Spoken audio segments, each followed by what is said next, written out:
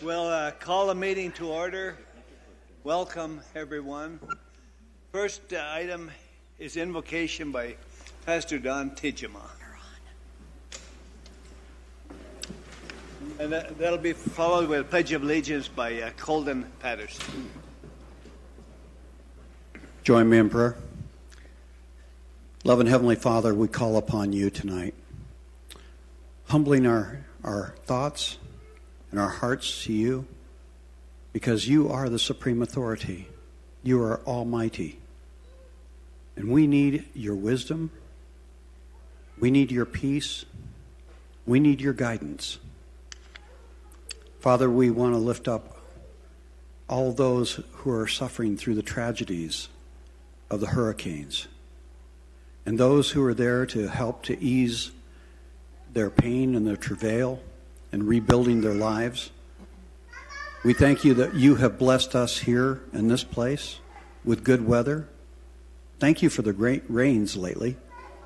Sure has green things up.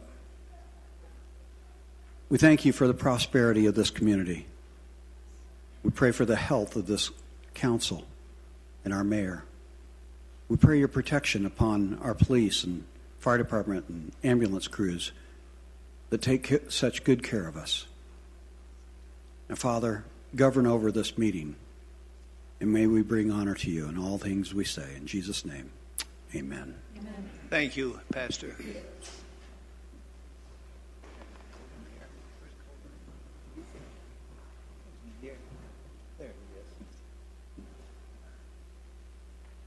Please join me in the Pledge of Allegiance.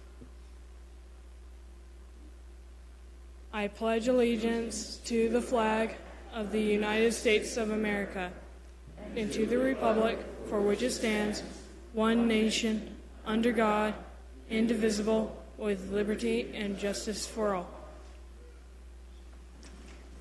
Thank you, Colton. Okay, next item is roll call. Diane?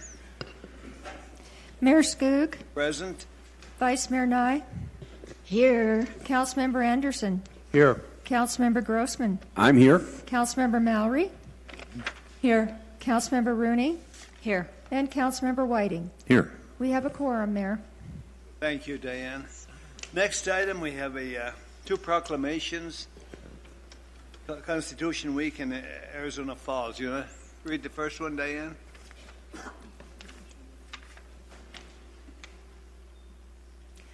Constitution Week.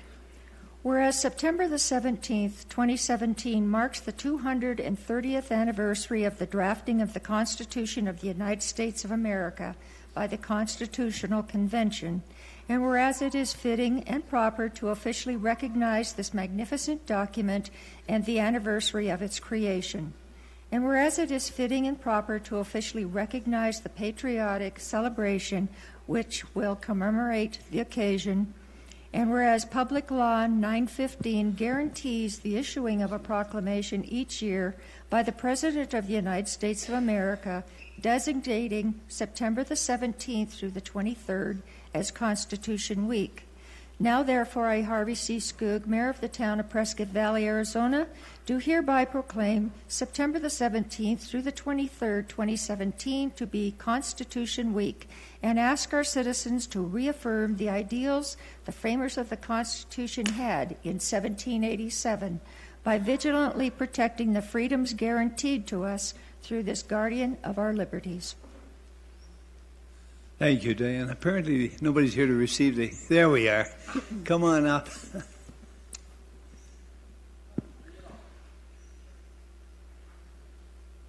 You want to introduce yourselves? This is Sue Burke, Regent of the Yavapai Chapter, Linda Sheback, and Dorothy Castanos, all of the Daughters of the American Revolution. Yourself? Okay, we have the uh, proclamation, and we present it to you. Thank you so much for coming. Appreciate it. Thank you so More much. comments? Sure. It took the founders 116 days to finally get the Constitution together. It's now been 230 years since we've gotten the Constitution. So we should take this opportunity to celebrate the Constitution.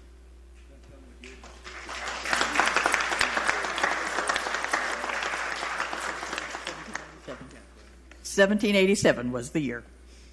Declaration of Independence, 1776, Constitution in 1778.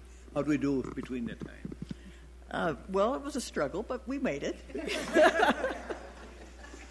Well, th- thank you so much. Appreciate your coming up. I hope we get a picture with you guys. Oh, you want to? Okay.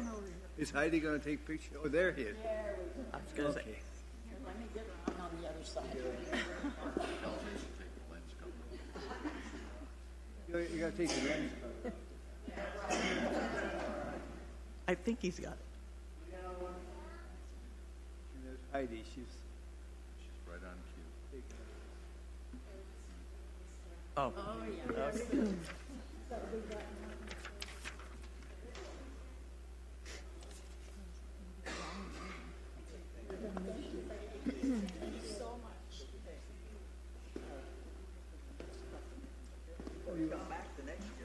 Okay. Maybe that's another track.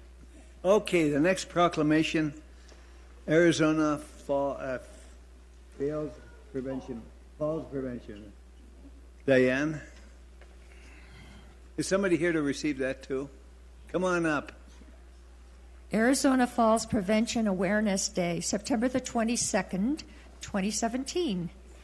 Whereas falls have continued to be the leading cause of unintentional injury related hospitalizations, emergency department visits, and deaths among those Arizonans 65 and older, with 973 deaths in 2016. And whereas last year more than 14,000 older adults were hospitalized and over nearly 43,000 emergency department visits were held among those 65 and older. And whereas unintentional falls resulted in about six days of hospital stay and over $1.2 billion in medical costs, and whereas falling is not an inevitable result of aging, and whereas all of us have the power to reduce the risk of falling, now therefore I, Harvey C. Skoog, Mayor of the town of Prescott Valley, do hereby proclaim September the 22nd, 2017 as Falls Prevention Awareness Day in Prescott Valley and urge all our older adults, family members, and caregivers, health care providers, fire and medical departments, first responders, and community partners to join the Arizona Falls Prevention Coalition on September the 22nd, 2017 for the Light Up the Night event in memory of those lives lost as a result of fall related injuries and celebrate the 10 years standing together to prevent falls. And further, urge all health and human service providers to routinely assess older adults, including our veterans and those with disabilities, for fall risks. This uh, business of uh, getting old makes me nervous, but it's happening. You want to introduce? Hello, I'm I'm Virginia Rodriguez, and I work with Yavapai County Community Health Services. I'm a health educator, and I'm also the chairman of the northern chapter of the Falls Prevention Coalition. My name's Rachel Mills. I also work with Yavapai County Community Health Services, and I am a part of the um, Arizona Falls Prevention Coalition. Thank you so much. And I think Heidi wants a picture of you. So you'll have to uh, stand tall and smile.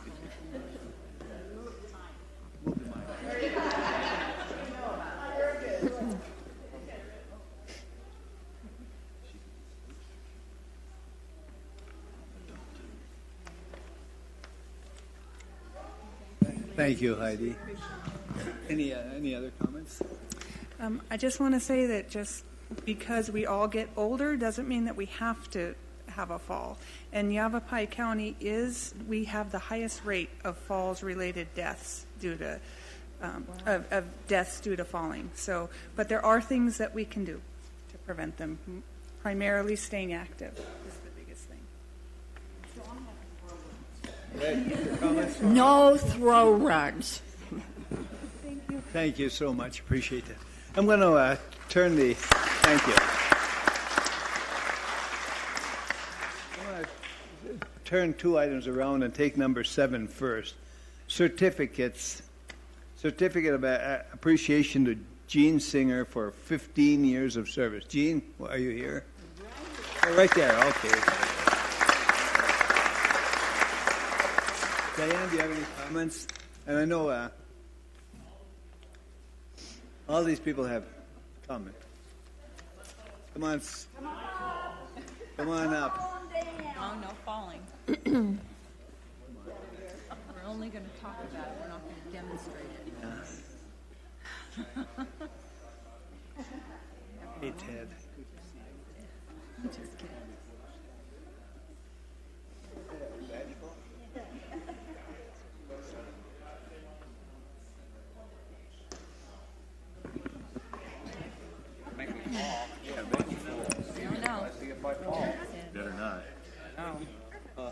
We're ready. We're ready. Okay. Today we're honoring Ida Jean Singer, better known as Jean or Jeannie to her family and friends. She has been with, working with us at the Prescott Valley Library for 15 years now. She is considered a friend, confidant, co worker, and a great helper. She has been with the cataloging, cataloging technological processing department in the library for those 15 years. She can process a book, CDs, CD books, CD music, DVDs in a flash. In other words, she does it all at the library in the most efficient manner. She takes the time to explain what technical processing is about to her coworkers and volunteers. She's friendly to all. When she smiles, it lights up her whole being. Her coworkers and volunteers are grateful for her knowledge and technique in processing our books and AV items. These items look very professional so much that when our patrons receive their items on hold or just get checked out, they are very, very satisfied. She takes pride in all she does for our library and the community that she serves. She likes her job so much that she comes in at 6 a.m. for 10 hours each day. She's willing always to go to the extra mile in all she does. She's very respected and loved. She has a wonderful family that support and love her as she does them. This shows in her love, laughter, commitment, and her dedication both in the library family as well as her own. She simply cares. We are truly grateful to our Jean. Thank you from all of us for your loving kindness and your service to all, Jean.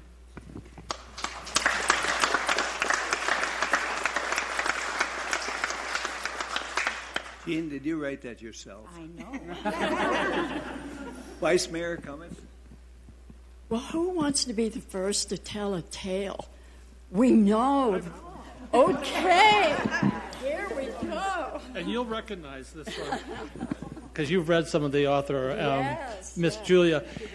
There was a, a book that a series that we like. Lora Lee likes it, and there was a character in the book called Mima, and so she's Mima mainly because of some of her new grandchildren and foster grandchildren. So it stuck that she's now called. I only get to call her Mima at the library. I also want to say, you know, she really has a, a lot of, she produces a lot. There was a lull there, though, because there was a period where Ivan was under her uh, direction. So during that time, I'm sorry to say, she didn't produce as much as she normally did.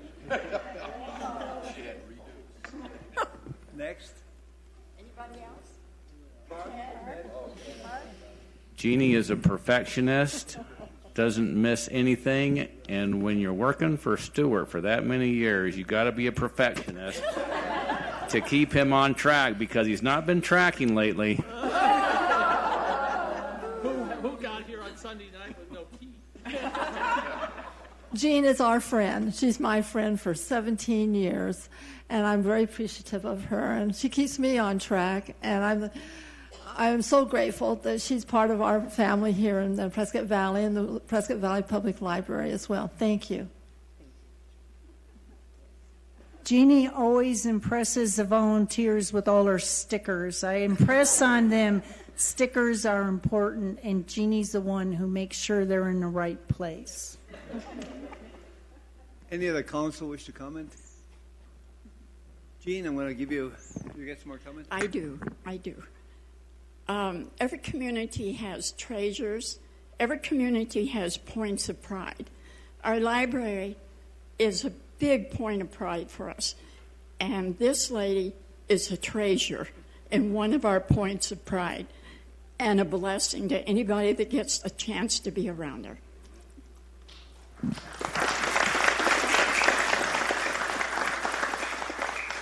Twenty minutes. Oh, I really like to thank Stuart. He hired me first, and first I was a volunteer, and then I became, you know, working in the back. I'm doing exactly the same thing, a little more now than I was when I first, and I love what I'm doing. I love my job. I love the people around me, and uh, I don't know. Maybe I'll be here for 20. I don't know. I don't know. I don't know. But I enjoy that. I'll give it a go. but thank you very much. I really appreciate all the You might- support. Might identify. Oh, these are my two grandchildren. This is Cadence, and this is Haven. This is, and my husband, and my son, Matthew. My daughters, where's she? That, my daughter and my son in law. That's, that's Carrie and David. And your husband's name is? Is Bob. and by the way, this is a really a nice week because we just celebrated our 50th wedding anniversary last year. So I thought that was pretty good. Not too many people can say that. So I was happy with that. Thank you. Well, congratulations Thank you. on your anniversary. And Bob, congratulations. Keep up the good work. Well, we're too old to do anything else now. With that, we have a uh, sort of appreciation award for the town of Prescott Valley Mm-hmm. to Jean Singer, 15 years of dedicated service from July 2002 to July 2017. And that's yours. Thank you. And a pin, pin with a couple of emeralds. Whoa. Wow. And guess what? A check. You can have a little bit of fun Oh, with that. cool. We're going out tonight, so yeah. You said we're going out, or you just showing oh, your husband? hold on. Oh, okay. Thank you. And Heidi wants to get a picture. Everybody wants to get this way, and she wants a mic.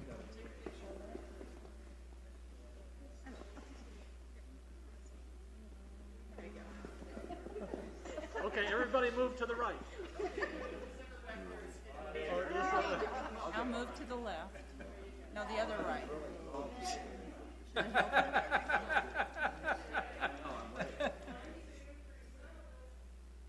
No smiling.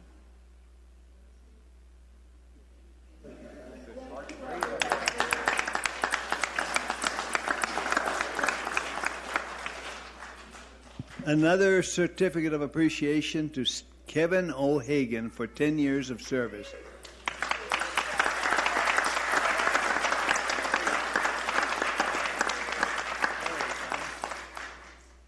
And he's got his family with him. Eighth thing. Well done.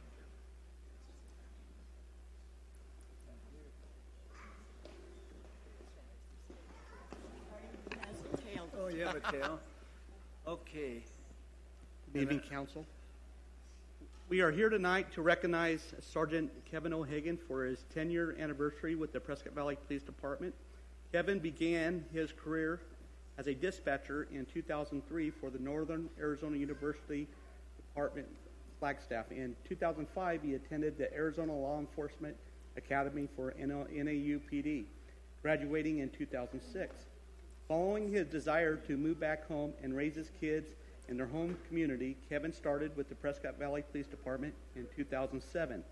In 2008, he was assigned to the K-9 unit, where he spent three years with his K-9 partner, Bogar. Kevin left the K-9 unit a year later, and in 2013 promoted to corporal. In 2012, Kevin was assigned to the SWAT team and still currently a SWAT operator.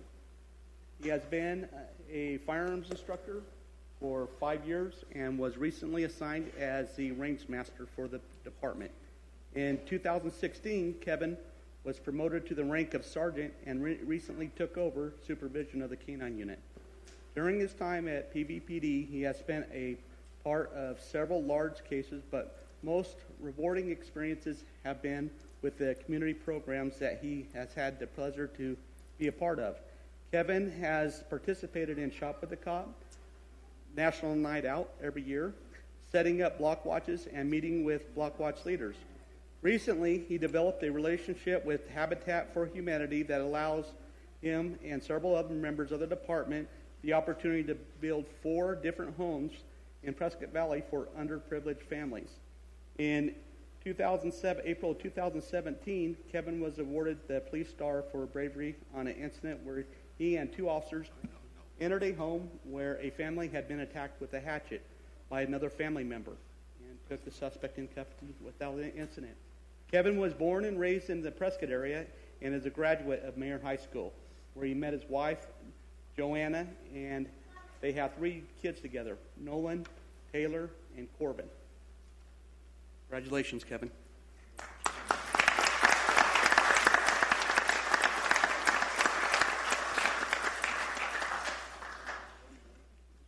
Any comments, Vice Mayor, Lora?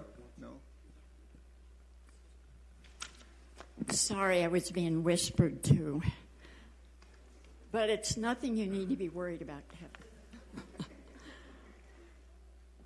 Um, it, it's very hard for me to get up and not get passionate and emotional about our police officers. I've been here a very long time now, and I've watched them from the very first day. He's one of them I did that with. And um, times change in a community, and sometimes there's positives and sometimes there are negatives. And our officers have to adjust to that. And uh, I'm sure you never expected to go out on the particular call that they just shared. But your training was there with you. Your fellow officers were backing you up.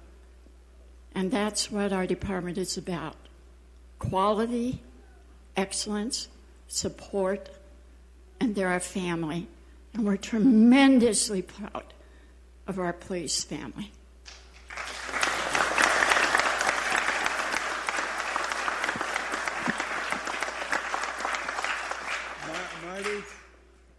Yeah, Kevin, congratulations on 10 years. Uh, Sergeant O'Hagan is one of those officers that I've gotten to know a little better than some of our other officers because I've had interaction with him.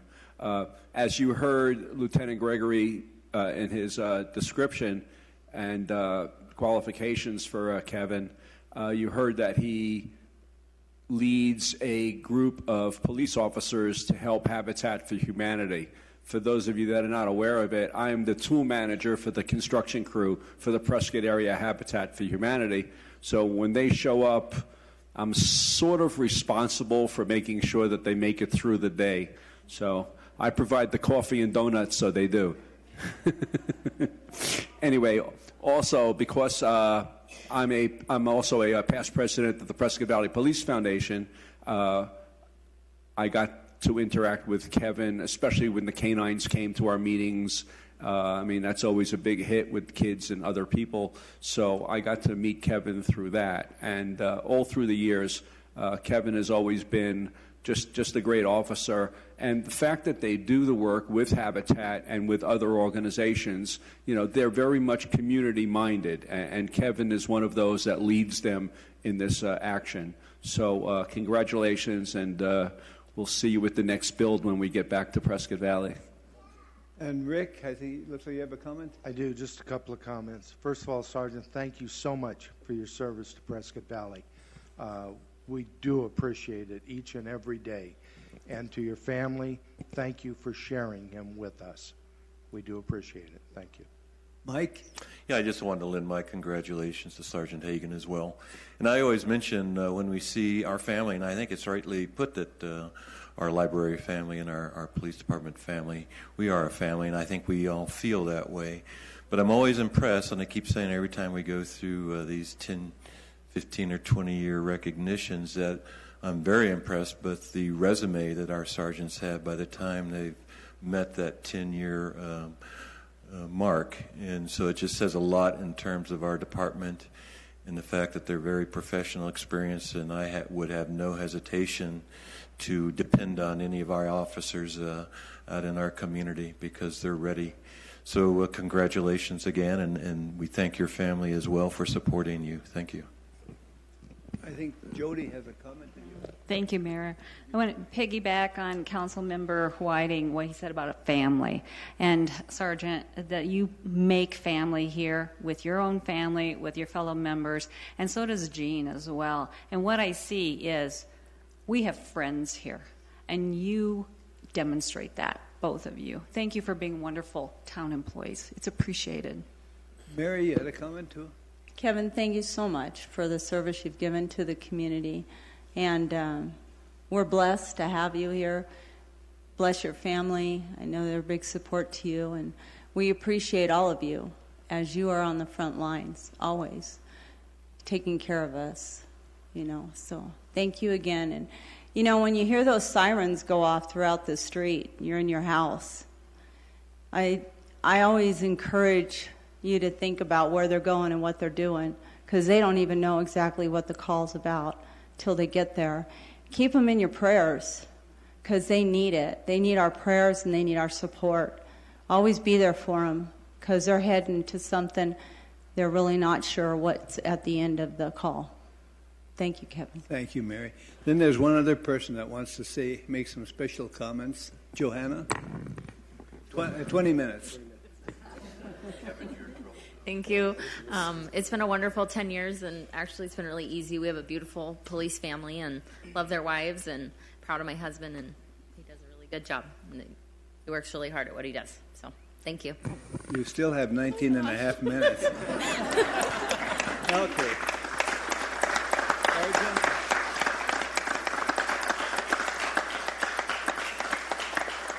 With that, We have an appreciation award from the town of Prescott Valley, presented to Kevin O'Hagan in appreciation for 10 years of dedicated service, September 2007 to September 2017. And also a pen with an emerald in it. It's yours, and you're up to speak. Awesome. Well, I'm glad you guys can't hear it because my squad's been calling me nonstop ever since I got up here. So, thank you guys. Um, and one thing that you guys talked about is the family, and we try to make our squad our family, definitely. And um, this is the harassment that I get for it. So, um, but truly, thank you guys. This is the best squad that um, I think the department has, and it's it's a lot of fun to be around. And 10 years, um, 12 total, with my wife putting up with the schedules and holidays and anniversaries and birthdays missed and everything that goes on with our schedules. But I truly appreciate everything that she does and everything she does with the kids.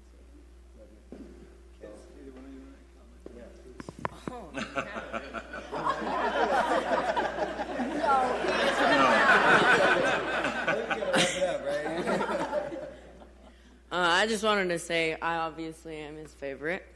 Obviously, I see why. I play baseball, so I mean, it relates to him. But um, I'm really proud of my dad. Uh, he's been a really great role model, and uh, he's I don't know.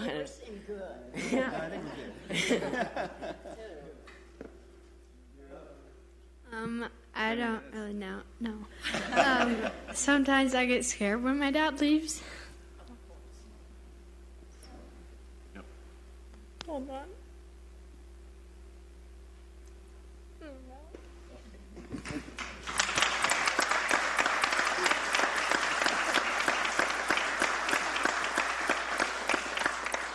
We all appreciate the service of uh, those people who worked, have worked here for many years. And thankfully, we have a lot of employees with a lot of tenure, a lot of experience, a lot of dedication. Really have a super outstanding team of uh, employees. We're very proud of our staff. They're just absolutely outstanding. And, and believe me, I, I talked to the mayors from other communities. We're, we, our staff is tops. We're very proud of our staff. Now you want to send for a picture? Gregory, I should say.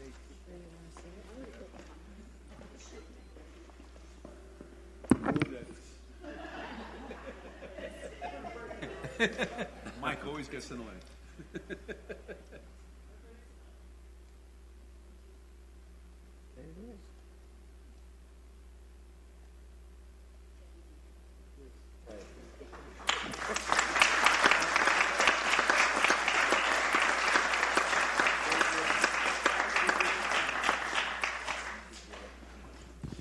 Thank you all. We appreciate that.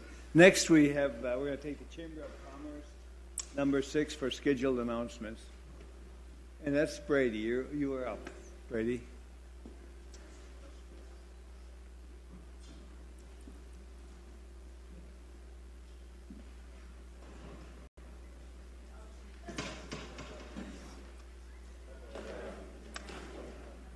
All right. Hi, I'm Brady. I work for the Chamber of Commerce. Um, as we know, Prescott Valley is always growing. We're growing um, incredibly quickly, and I love working at an organization that's kind of at the center of um, at least the business growth in our community. Um, we have a lot of new businesses come into town, and I have um, the honor of introducing. I have Trisha Bracco and Brandon Napo from Native Grill and Wings to talk about Native Grill and Wings.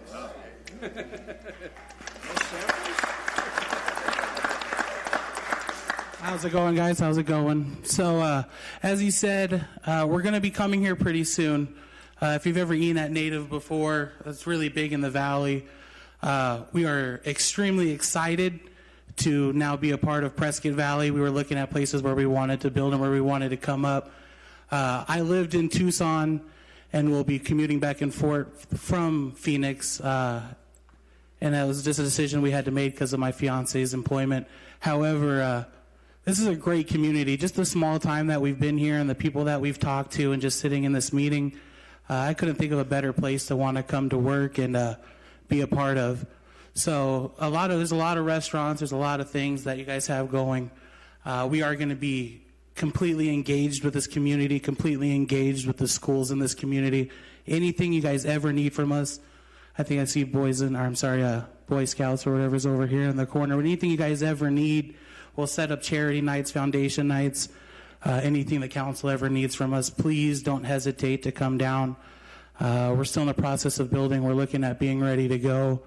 Beginning of November-ish is when we're uh, going to do our grand opening, but we'll have friends and family nights and all kinds of other things that you guys can participate in throughout October.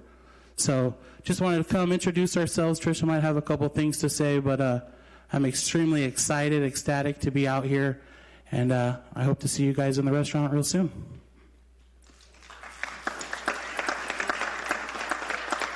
I'm actually from here, so it's a proud moment to be a part of something like this in this area. So that's really all I have. All right, and also joining us, we have Tim Kennedy with the coolest car in town, Prescott Valley Limousine Service. My name's Tim Kennedy, as you said, and I'm new to the area. Um, I came down here to retire uh, somewhat. I've been a chauffeur for many years, and so I purchased a new car that's not been rented out yet. It's uh, new to me, but it's a late model Lincoln Town car. It is a 10 passenger Lincoln Town car with only 80,000 miles on it. So it's a very safe car, and I thought coming to this wonderful community that you have here and to add to the community, and, and it's something that we can use for the, children in the schools as well as other uh, occasions that you would normally have, weddings, of course, and any other occasions that you may all be interested in. Um, the car is has got the new lighting system I wanted to mention, it's as well as the sound system. It does have the complimentary beverages that come with it. Um, other than that, it's a three-hour minimum, and we can uh, negotiate on the prices that we're going to start with. We're going to uh, have some other advertising coming out of regarding that, and they'll change throughout the prom season and through the seasons. So kind of nervous out here for the first time, but appreciate being here. And I've uh, got uh, my two kids here. I want to mention real quick that since I moved down here, I'm originally from Flagstaff, and my daughter was transferred down here from McDonald's Corporation. She's one of your supervisors from McDonald's, and just reopened up a new store here. I guess in Chino Valley, remodeled, I should say, remodeled the McDonald's in Chino Valley. So it's fun to have uh, my family here, and the community is wonderful here.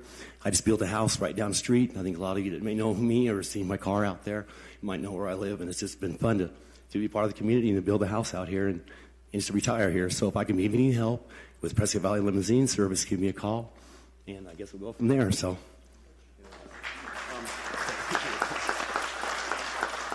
He was asking, sorry, he was asking for my phone number. A little nervous here. Our, our number, I'm sorry, is 928-910-0058. It is on the back of the limousine as well as we have some cards. I think Bradley's going to, we'll pass out some cards and some flyers as well. Um, any questions? I guess if there's any questions anybody has about the limousine service, if we got a minute. Um, go ahead. Just Thank you again. thank you, Mayor and Town Council. Thank you. Two great businesses. Thank you for introducing these two great businesses and welcome to Prescott Valley. Appreciate having you. Good. Okay, now we go on to uh, number eight communications comments. And I have some.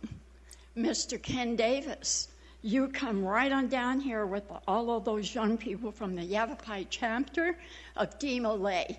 Come right on down because we promised them they could get a picture. And we're keeping our promise.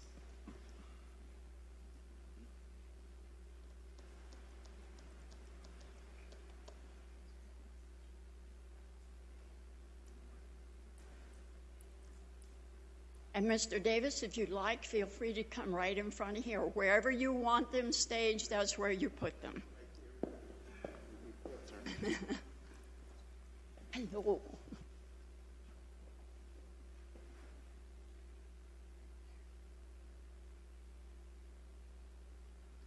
Good. Any other comments? I'm I- sorry. I'd just like to say Oh, briefly, great. because I suppose a lot of you don't know what DeMolay is. Uh, DeMolay is an organization for young men between 12 and 21.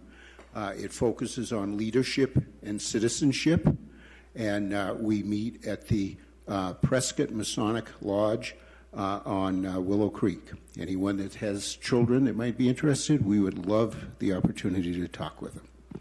Thank you. I appreciate that. Thank you, Mr. Davis. Thank you, young man.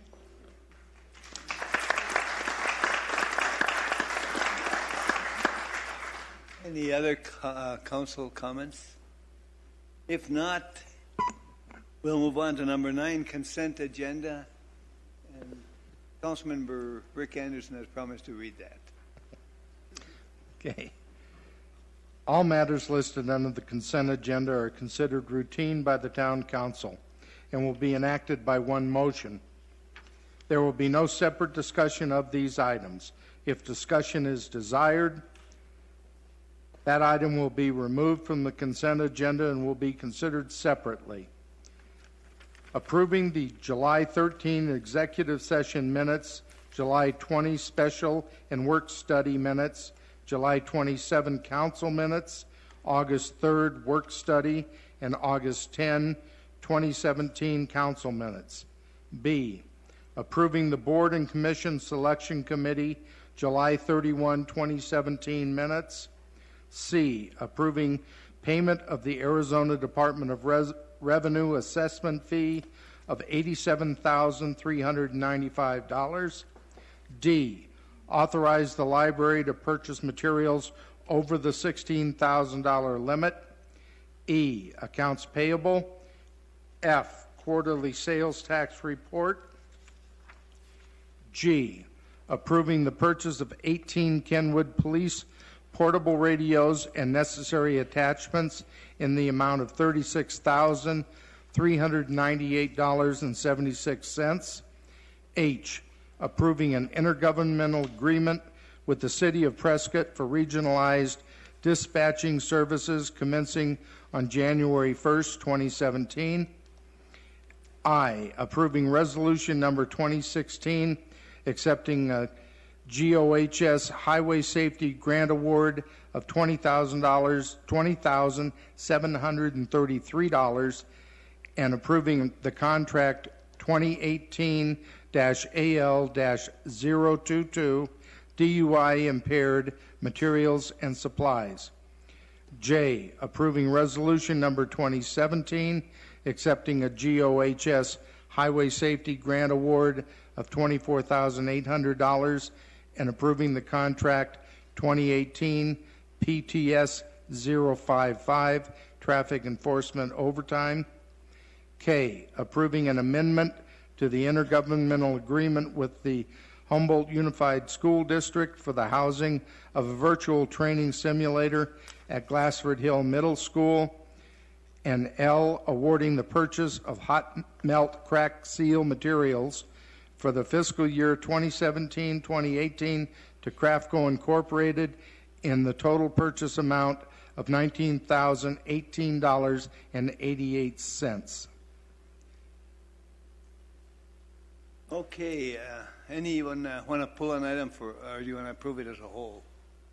Mayor, I'll make a motion to approve the consent agenda by electronic vote. I'll second. Okay, with that, would you set the vote for us, Diane? Diane, I'm going to have to vote verbally tonight. How do you wish to vote? I am. Yes. Councilmember Rooney? Diane, I'll have to vote verbally yes also. Okay. Mayor, that makes it uh, That passes. passage unanimously. Okay, thank you, Diane. Then we'll move on to number uh, 10, new business for review, comment, and/or possible action, consideration of appointing John Gorman to the Personnel Board. Uh, Lora, any comments? I do. With so many people here, I can't tell if Mr. Gorman is here. If he, there he is, right there. Come right up here. See if I'd have looked in the first row instead of looking back there. One position on the citizen alternate member on the personnel board became open when Donna Keller was appointed to a vacated full citizen member position on about June 22nd, 2017.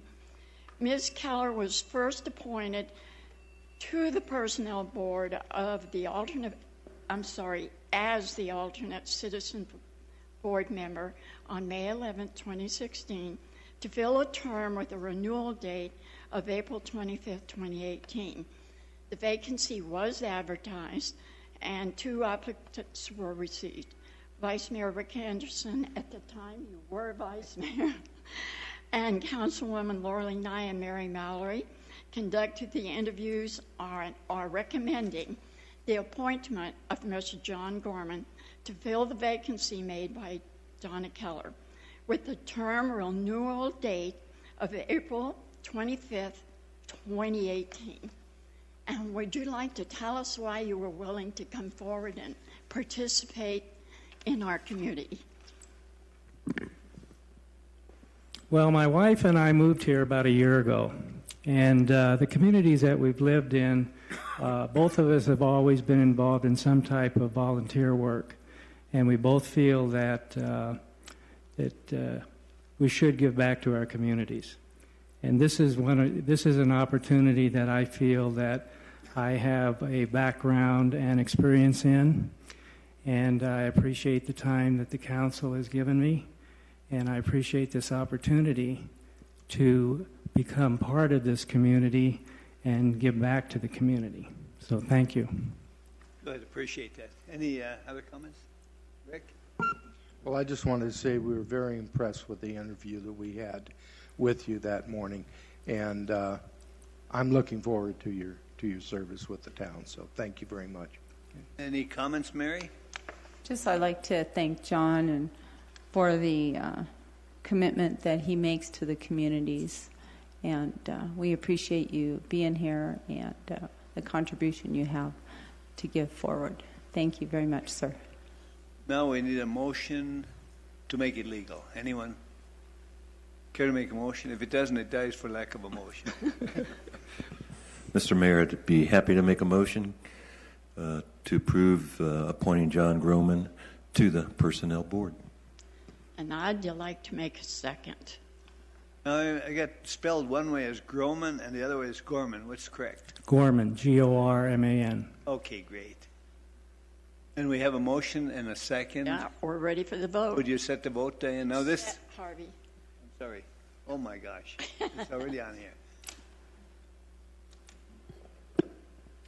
Now we'll see if it passes. Councilmember Anderson Yes. and Councilmember Rooney. Yes.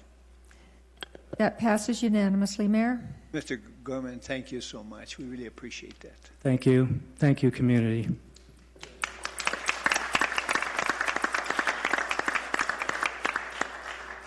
Okay, next we're going to have a public hearing, General Plan Amendment GPA 14-006, PCC condos parcel B. Richard, any comments? Yes, Mr. Mayor, uh, members of the council, I want to introduce uh, both items to you. Uh, obviously, they're going to be have, uh, be uh, have to be acted on separately. Uh, however, they are related. Uh, the illustration before you on the screen is an illustration of an area known uh, in the community as a triangle area. It's also referred to as Parcel B. Uh, that uh, property uh, was uh, or is part of the Prescott Country Club golf course in the center of the golf course and is surrounded by the Prescott Country Club. The golf course is annexed to the town of Prescott Valley, as are properties along Tapadero uh, Street as well as the clubhouse. Uh, Yavapai County in 1983 uh, reviewed applications for the distribution of condominium units uh, throughout uh, the country club, including then Parcel B, also an area known as Cottonwood Cove, and an area that has been excluded from this application that I'll also discuss that was a uh, pond area at one point in time.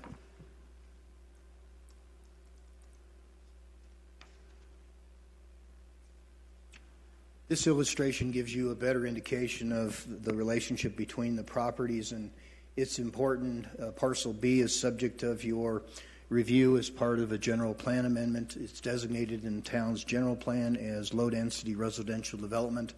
Proposed is uh, multiple family development, so it would require a change in the town's general plan to be able to accommodate that proposed use. Illustrated here, you can see also Area C, and that area was uh, rezoned by Yavapai County in 1983 to accommodate 75 uh, condominium units. Uh, those 75 units are now uh, proposed as part of uh, your next action to be redistributed into two areas, that being parcel B and parcel C. Uh, parcel B accommodating 40 uh, of the previously approved units, and parcel C accommodating the remaining 35. Uh, both properties would be accessed uh, by public roads uh, within the area, one from a cul-de-sac uh, into the Cottonwood Cove area, the other off of Buena Vista through the golf course to parcel B.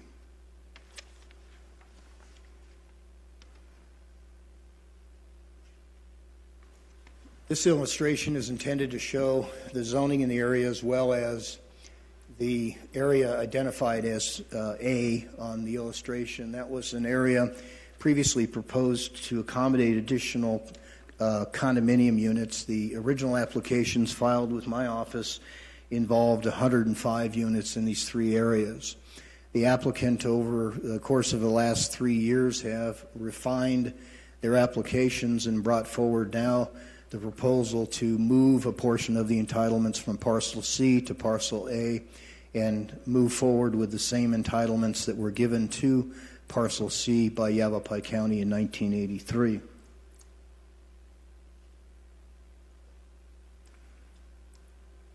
This illustrates um, the preliminary development plans that were provided to the Planning and Zoning Commission.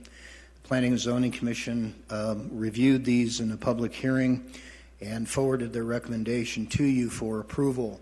They did caveat that they'd like to look at uh, more uh, specific information, excuse me, in the form of a final development plan before it's uh, presented to the town council in the future.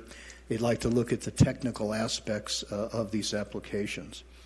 The uh, next application uh, on your agenda after your public hearing on this regards the zoning map change, and I intend to, uh, with your permission, Mayor, make remarks in respect to the technical uh, documents that were presented in support of the zoning map change.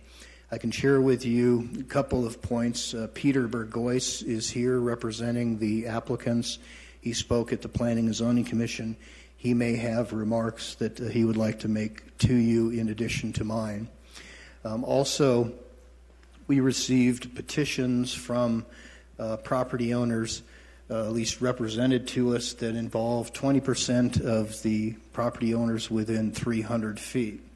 In consultation with our town attorney, uh, while the uh, state statute is silent on administrative acts, which would be a resolution, uh, there is a requirement for your passage of an ordinance, uh, such as your next action, that that be done by supermajority. That's because uh, it has been presented to us, and we have no reason to doubt that they have collected signatures of 20% of the property owners within 300 feet. I have to share with you, I haven't had the opportunity, having received these late yesterday afternoon, to actually review and confirm that, but I'm taking it on face value that that has been represented to the staff, and we are recommending that your, your second action, which is on the ordinance, uh, needs to be done by a supermajority. With that, Mayor, I'd like to conclude my remarks and ask uh, if you would like to invite Mr. Burgoyce up, and it may be prudent for him to take you through soup to nuts uh, with his uh, proposal. I would re- respond to any questions from you, Mayor, uh, the council, or the audience at your direction, and I would assist Mr. Burgoyce if uh, he needs assistance in that regard. Let's bring Mr. Burgoyce up. Peter?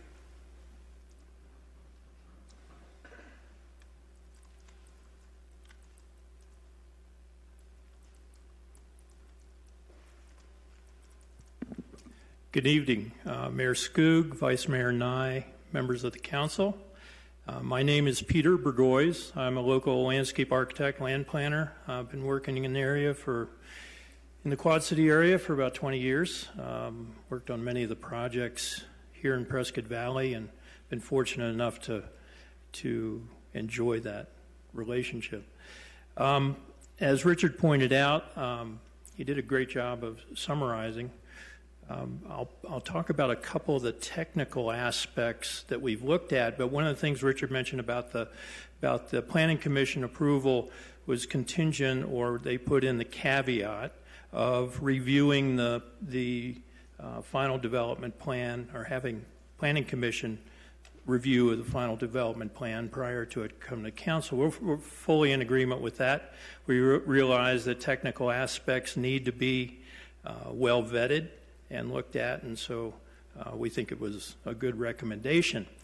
Um, I'll, I'll, hit some of the highlights of what of the preliminary development plans that were submitted, and kind of give you an overview. Before I do that, though, I think an important thing to point out is uh, the the the applicant has strived to prepare a plan and application that fits the context of the country club. Okay, what does that mean? That means homes that, that fit within what would normally be expected of seeing on a, on a golf course, um, doing them in a way that's architecturally appropriate, doing them in a way that fits the, fits the landscape, um, and doing them in a way that protects the asset that is there, and that asset being the country club and the golf course. Um, that really is truly a, the biggest asset there, and we want to preserve that value and keep an active business going while making a, you know, enhancing the community. Um, what I'll do is, Richard, can I just scroll through these?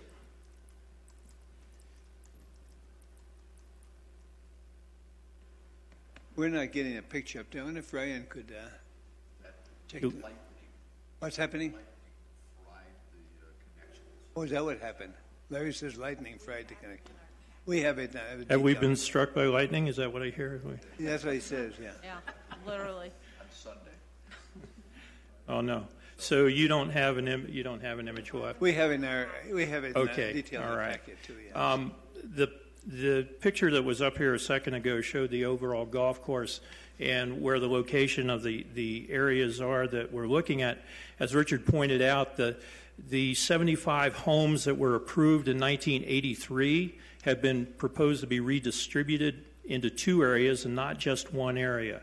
So it's, it's kind of spreading out the, the density. It's taking that density and, and more or less splitting it in two from 40 units in the, let me make sure I get the right images here.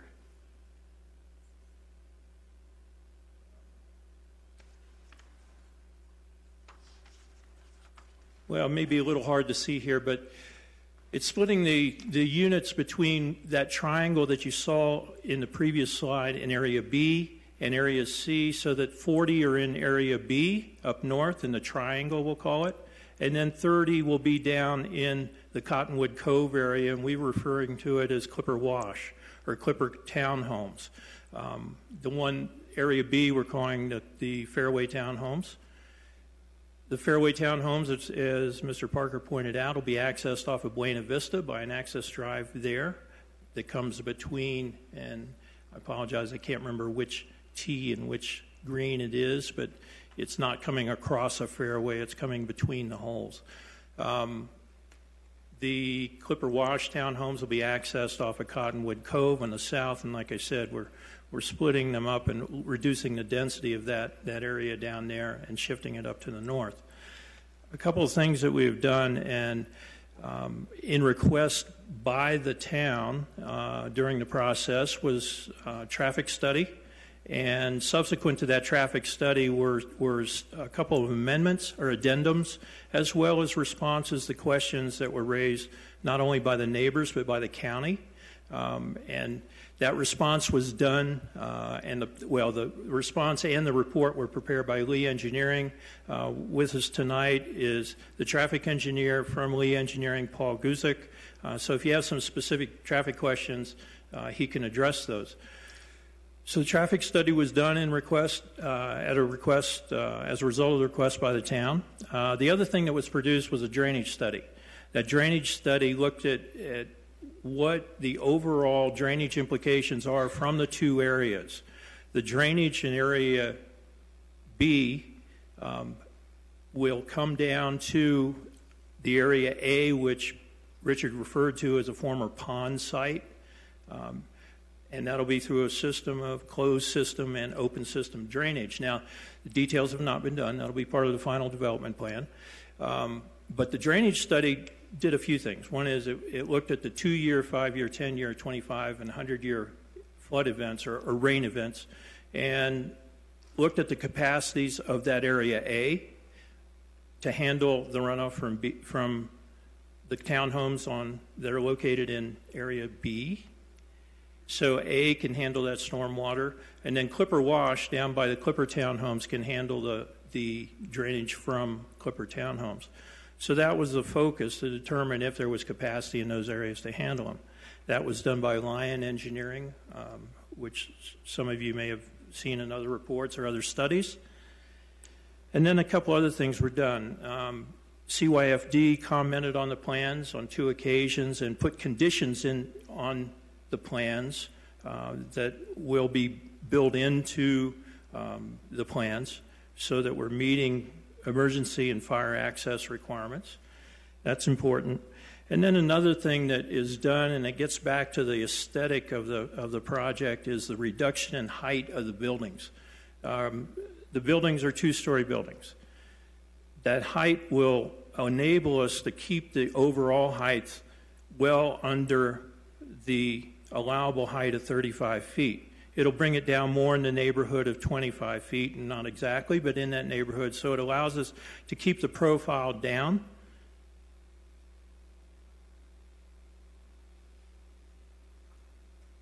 And I, I assume this is in your in your package, but that's a, a conceptual view of the townhomes themselves. Two stories. That dashed line that you see above the roof is the height that could be built under town code.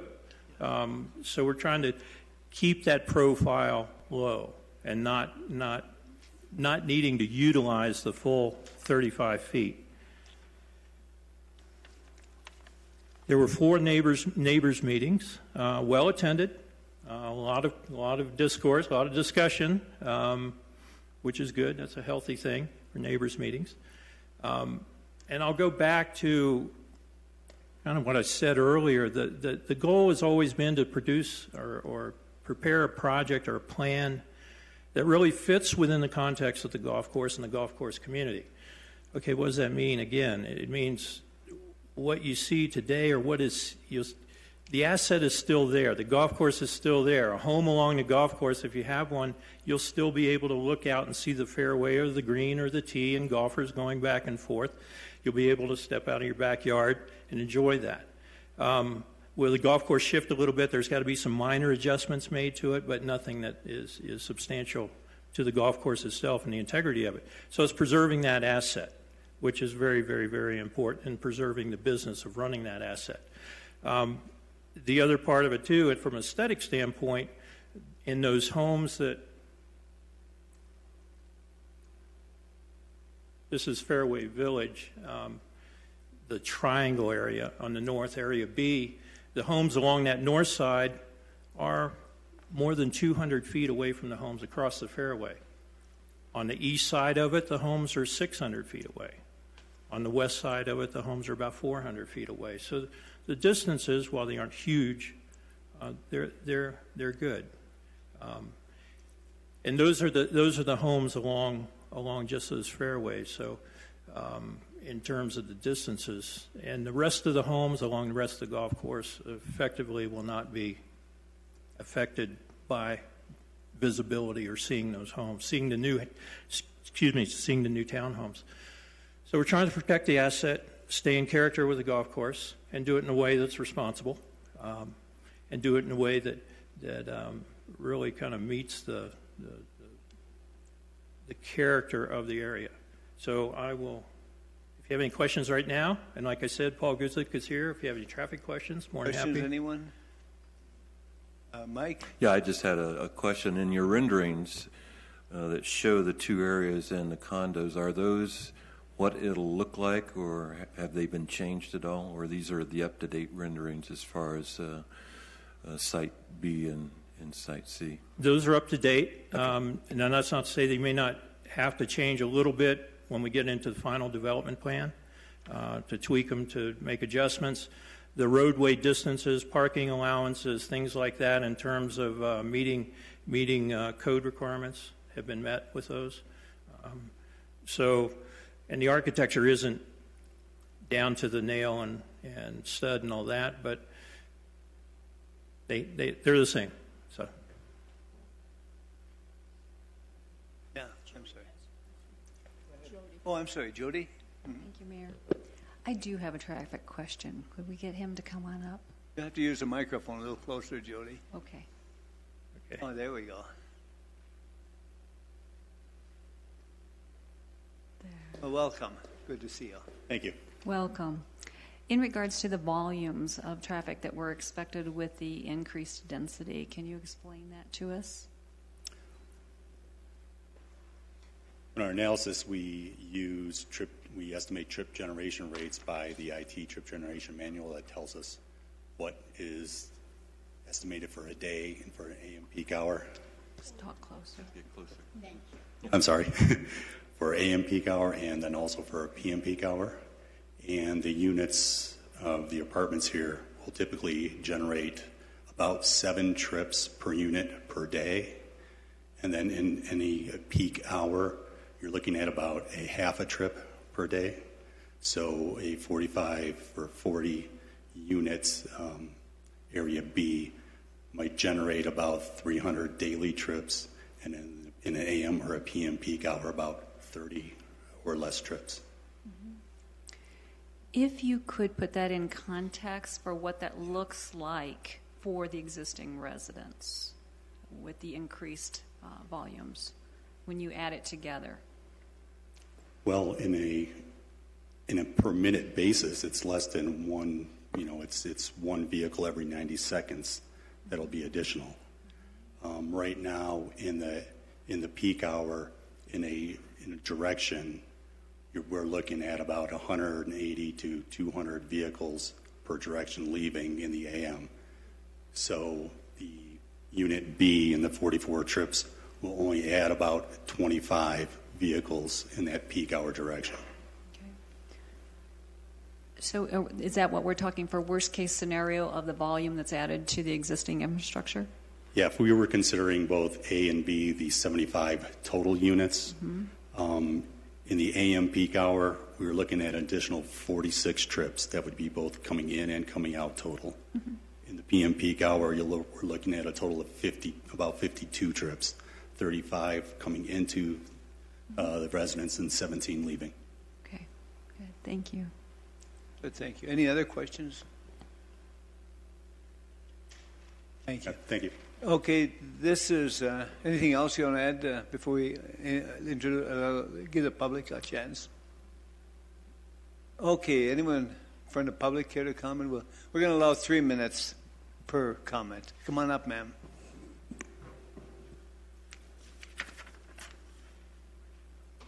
Thank you. I'm Margaret Darnell. I live on Manzanita. And I feel compelled to voice my concern over yet another jo- zoning change for the country club. Ordinance 787 started this whole mess, and no one except the Halls knew anything about it or were notified. Seven changes for one piece of property? Is that normal? I'm not clear how ZMC 14 006 would benefit the community when at each meeting held, over 99% of the people were against the changes. It seems to me this issue keeps coming up to a vote until the halls get exactly what they want, no matter how negative the impact is on the country club na- neighborhood. It was noted at the last meeting by the board members of the Planning and Zoning Commission how inadequate the presentation was with no solid information, just pictures stating similar to, like, sounds like a bunch of smoke and mirrors to me.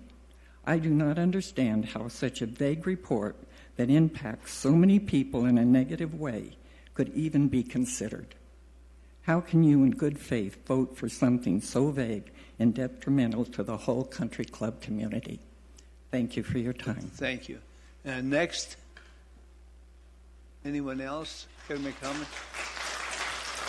Yes. Uh,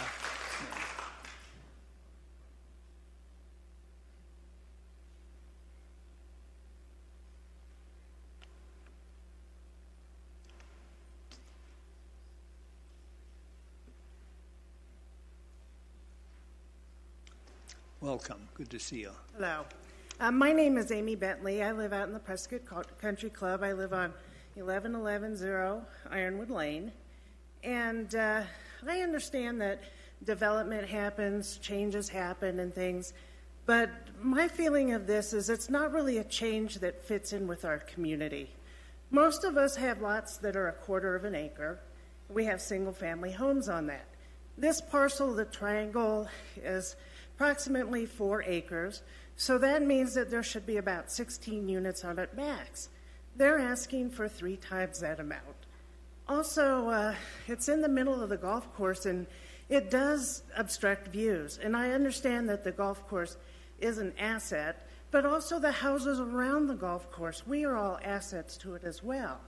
And everybody that lives there, about 75 units are probably viewing this area, are going to have their assets reduced of their value. And so I'm just kind of like asking you to step back, look at what's being presented, see if it really is logical. You know, the traffic study was done in January. That's the low point of traffic because we have a lot of summer residents out there. So I'm just asking you guys to just kind of step back, look at this in a logical sense, put yourselves in our shoes. Would you want to have your assets sitting there looking at the golf course to be reduced by the value of this? And is there some sort of a compromise that everybody could come to where it doesn't reduce the residents out there for increasing the asset of the golf course?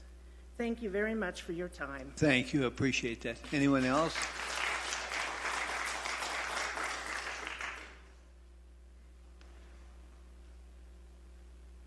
Well, greetings. How are you? I want to read this briefly because I don't want to forget anything about it. My name is Sandra Downs, and I live on Manzanita in the Prescott Country Club. And this is kind of a put together from our citizens. Um, zoning, can you hear me? And hello, homeowners, welcome. Um, the zoning laws by statute in the Arizona Constitution clearly state that private property of adjacent homeowners shall not be damaged or values lowered by the actions of a city, town, municipality, or government entity by a zoning measure enacted that changes the original use. To further protect and to re- reimburse such overreach, Proposition 207 was signed and codified in Arizona statute section, so on, so on, attached in this file known as the Private Property Rights Protection Act. The homeowners and residents had presented to you at a previous initial meeting a thousand signed petitions of opposition for zoning and also have adamantly questioned the matter of the annexation in 2014 that occurred without the knowledge of the 3,000 residents. At the last neighborhood meeting on, or the one before, June 23rd, at the Prescott Valley Library, approximately 100 people were in attendance. They clearly and continuously objected and asked the developers to stop the destruction of the golf course, the views, the privacy, and their home values.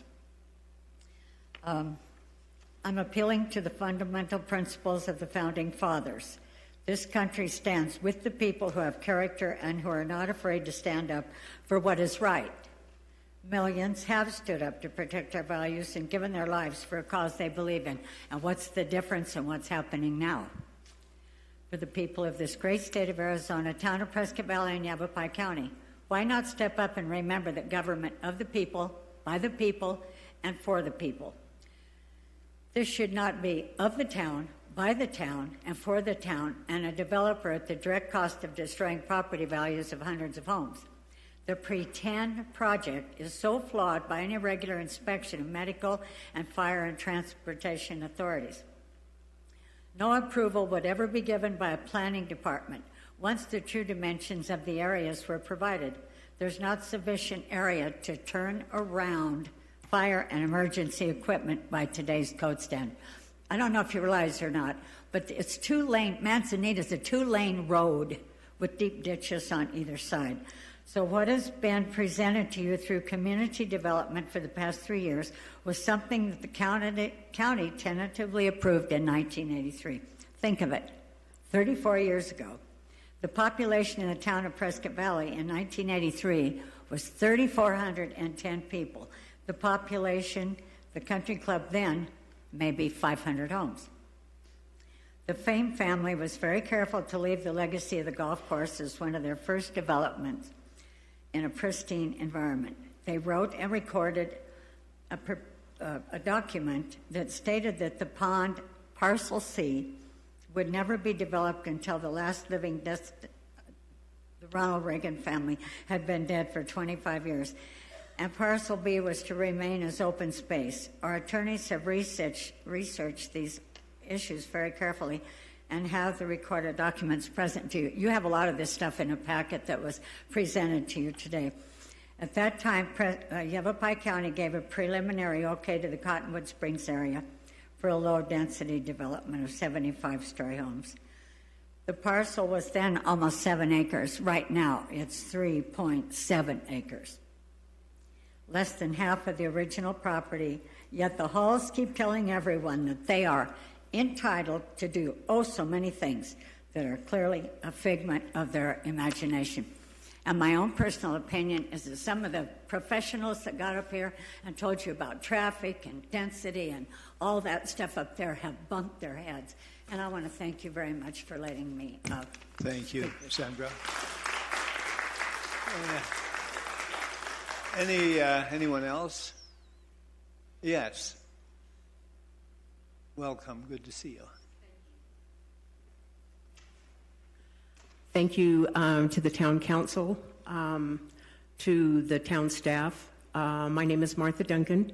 I've spoken before to the planning and zoning, to you, and at each of the meetings that were held uh, for the last three years in regards to this project.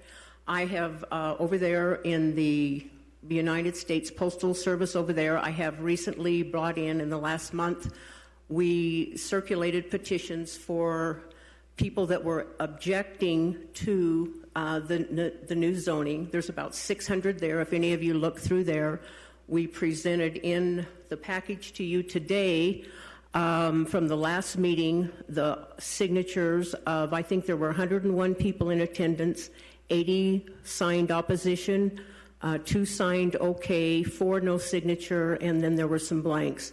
Clearly, at every juncture, at every meeting that we have had, the people of the Prescott Country Club have asked for this to be halted. Um, there's never been a need for it, and that's one thing, according to zoning standards, that you have to prove that there is a need for new zoning, proof that the project is compatible with the surrounding area.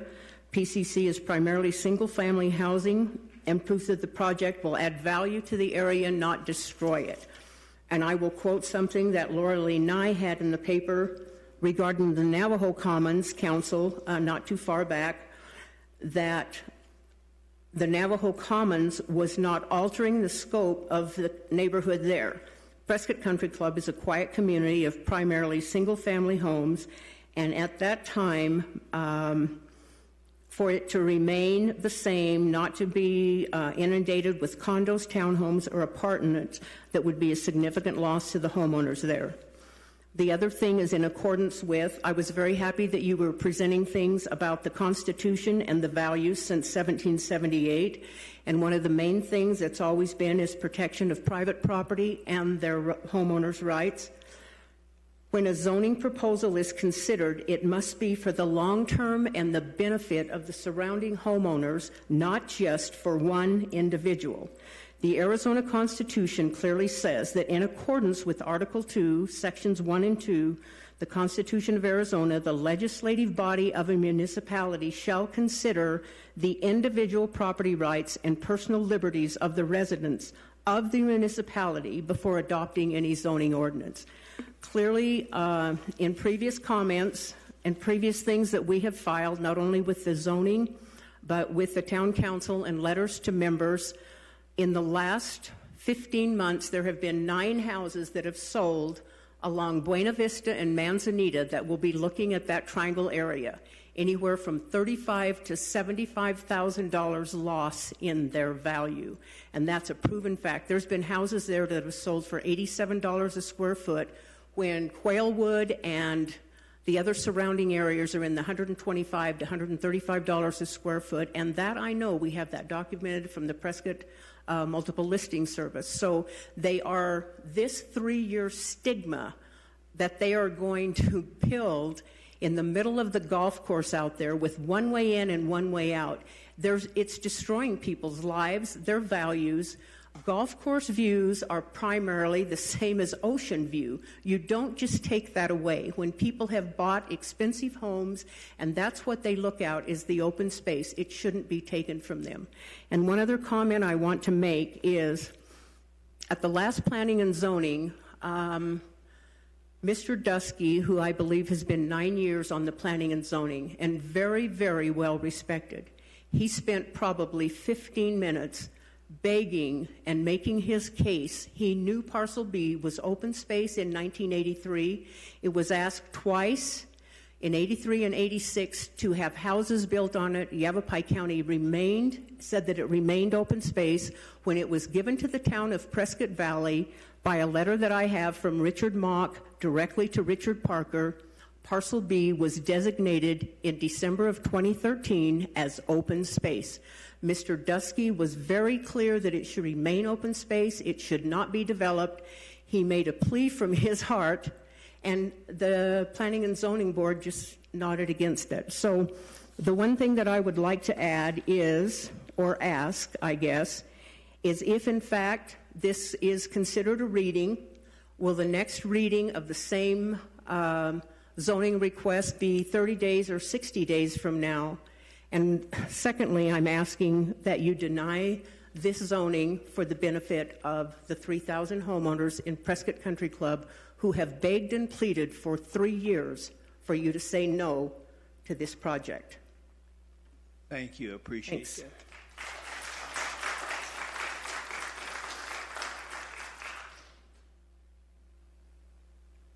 Oh, welcome.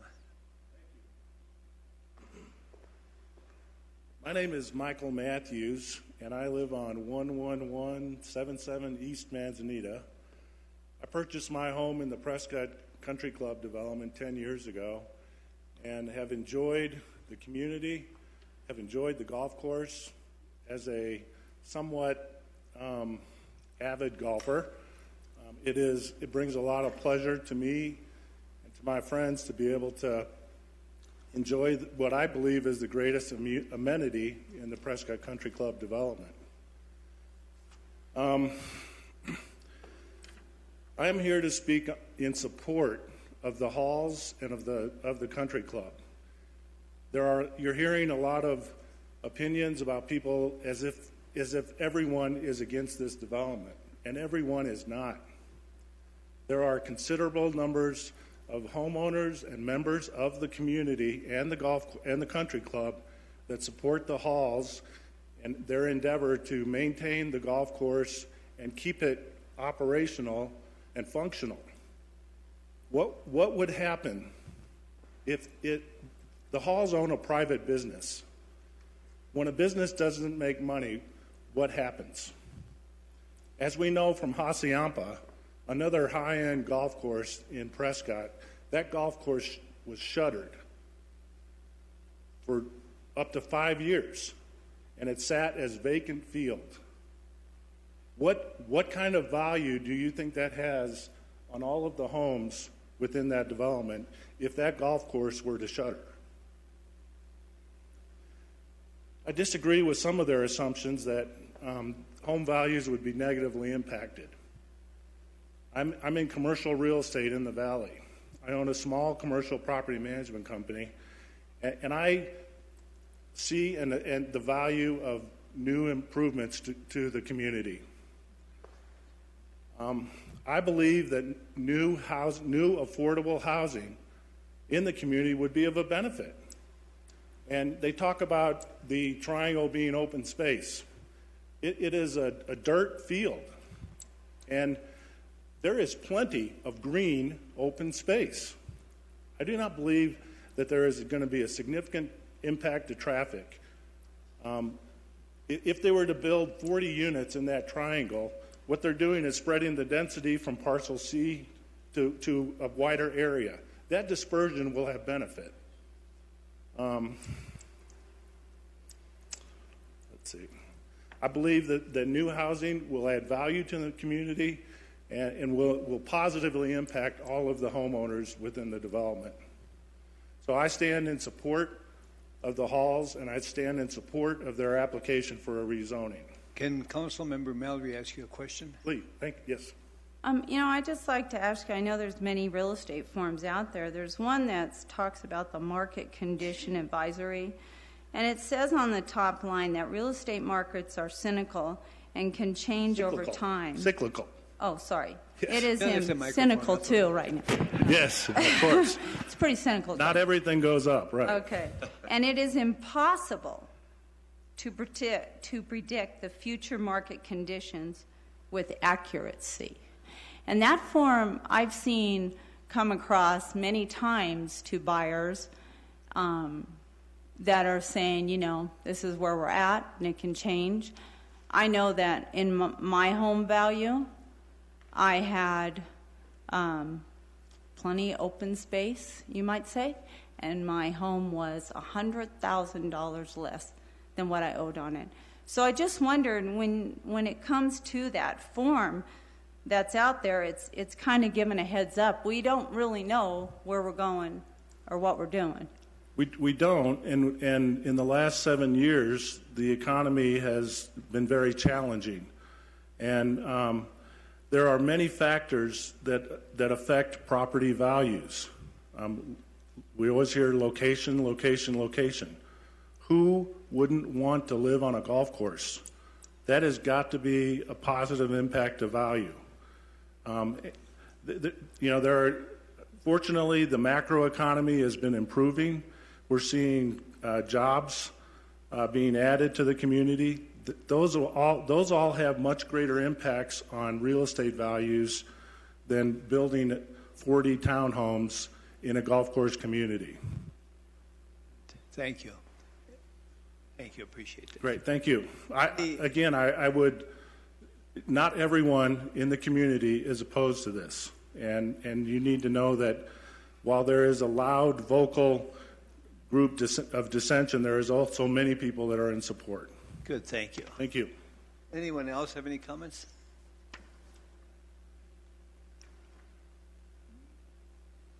Come on up, welcome. My name is Linda, and Give it I again, live if on you come- Manzanita. Your name again? Linda. Runa. Like tuna. Okay, thank you. Anyway, um, I have been there since December. I lived on Manzanita. And when I bought the house, I knew nothing of this. The traffic is horrendous, and I mean horrendous. It's a two lane, there's no sidewalks. People try to go and walk their dogs or get some exercise on those roads, and they, it's virtually impossible for me to go out and get my mail, and I'm not lying to you, I literally have to stand there, wait till the cars go by, and then I can open up my mailbox, hurry up and get it, and get back on my driveway. It is that bad. I don't know how any emergency service can even turn around there. If there's an accident, God forbid, it's going to be all blocked off. The only reason I'm saying this is because I was not told anything about this in my disclosure when I bought our house. And I did buy it from Mrs. Hall, the mother. And she left quite fast after we bought it, so I don't know if she knew what was going on, but we never did a dis- disclosure on the real estate. If I would have known it, I would have never bought it. So, anyway, basically, what I wanted to tell you is by me living there, I actually live on Manzanita. We have construction up on the top of the hill that's not even in Prescott Country Club, and the trucks go all day long. The cement trucks go all day long. The traffic is terrible. All the workers that go work on these houses are going up that road. Can you imagine with the construction in this area what it's going to be like? Because when you come into Manzanita, that's one way in, one way out. And with Maverick being there, you have terrible traffic coming out of Maverick going into the country club. And we have to wait sometimes at the light to get out. So I just want to express it to you how important it is that the traffic is terrible. Okay, thank you. Thank you. Appreciate Anyone else? Welcome. Good to see you. I am Bob Darnell. I live on Manzanita. Fact, my house is just underneath the dash there between four and zero. And it's a half acre. And uh, Manzanita Trail is about a mile and a half long until you get down to Turquoise, which Area C is going to come out of. And it's a two lane road, and I'd say 90% of those houses have to back out of their driveway on the Manzanita Trail. I'm lucky. I've got a circular driveway, which is, by the way, a uh, cul-de-sac for the drivers that make, want to make U-turns. Anyway, uh, that's a traffic problem. Uh, or as the uh, the halls, they've never stated how they're going to improve our community. It's all words. Nothing has ever said we're going to do this. The prior owners of the country club, uh, along the, the, dirt path there along uh, the Eighth Fairway, is the uh, cart trail and an easement. The previous owners mowed that. Now the halls, that grass is that tall. They're not taking care of it. The owners of the country club before had a good restaurant, uh, a good bar, uh, the kitchen was good. There's nobody going there now. They, and as far as Area B is right out my back door. And uh, they use that to put uh, the tree limbs that have fallen down, trash, and dirt. And they don't even mow that either. So they're not doing anything to help the community. As far as the technical stuff, the drainage of Area B goes in the opposite direction of A. And the technical portion of it, there's a 30 foot difference from the top of area B to uh, A, and to the north, it's they got to cut a ditch or a pipe that goes underneath area B into area A. They've not talked about it. They have not talked, and there's a 30 foot drop, and there's no excavation uh, mentioned. They're going to have to do something to bring that into level or whatever. The information is not there. Uh, we've asked many times, what are you going to do with the uh, maintenance yard where Area C is right now? No answer. We're getting absolutely nothing. And I think the county back in 83, when they said, keep it open space, they meant it. It was right. And I think you guys need to follow that. Thank you. Thank you. Thank you, Bob.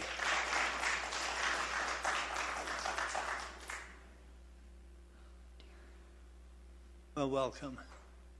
Appreciate your coming. My name is Can I Helen. pull it down just a little bit more? Further, There, something hear like me? that. Maybe even, Helen? le- even an inch or two more. Helen Kupchinsky. I'm a resident of the Prescott Country Club. You'll have to pull the mic down just a little more. There you go. Um, First of all, I, I think it needs to be put on the record that none of you are our representatives. We don't vote for you. We are county residents. We got to change that, but go ahead. You're going to change that. That is up- exactly partly what's wrong. That's up you to you. do want to annex the Prescott Country Club, and you've already done an end around by annexing something like 145 acres. That's not the full country club property. That's not how government is supposed to work for us. You're supposed to be the most truthful people in your planning for the future. And you are not being level with the property owners that are there now. And neither is the county. This project, if the, the halls took it to the county for some kind of a general plan amendment or county zoning planning, they should be hearing it, not the city. We have no representation with any of you. And not only that, but I'd also like to ask the planner if he has uh, addressed secondary access for any of these parcels. I don't see it up there. And that's a very dangerous situation in emergency situations, particularly. You have a fire, where's secondary access on any of them? Thank, Thank you, Bridget.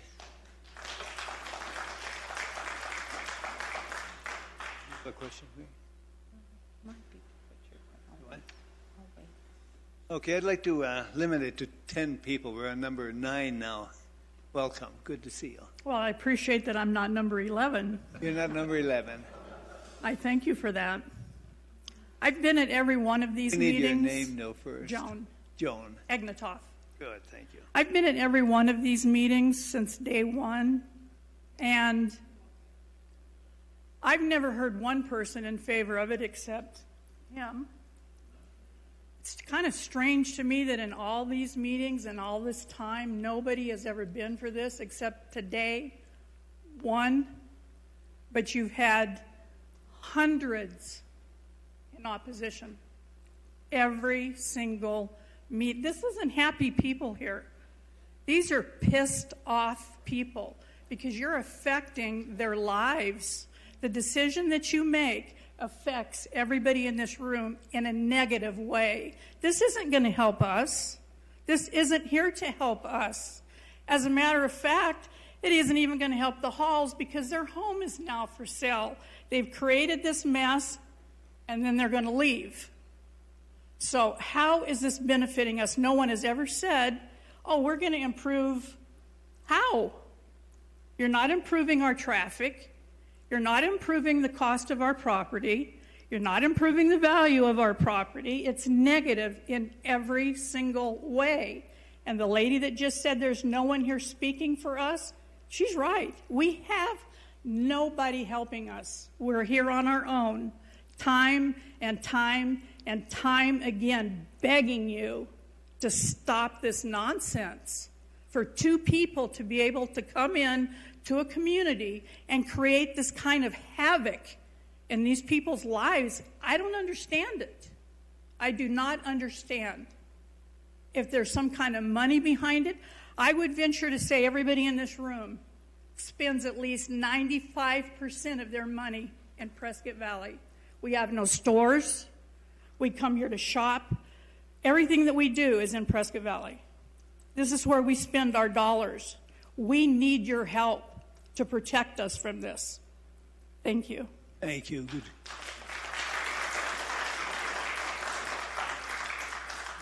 One more if there's someone else that would like to comment. If there is no, any further comments, Richard?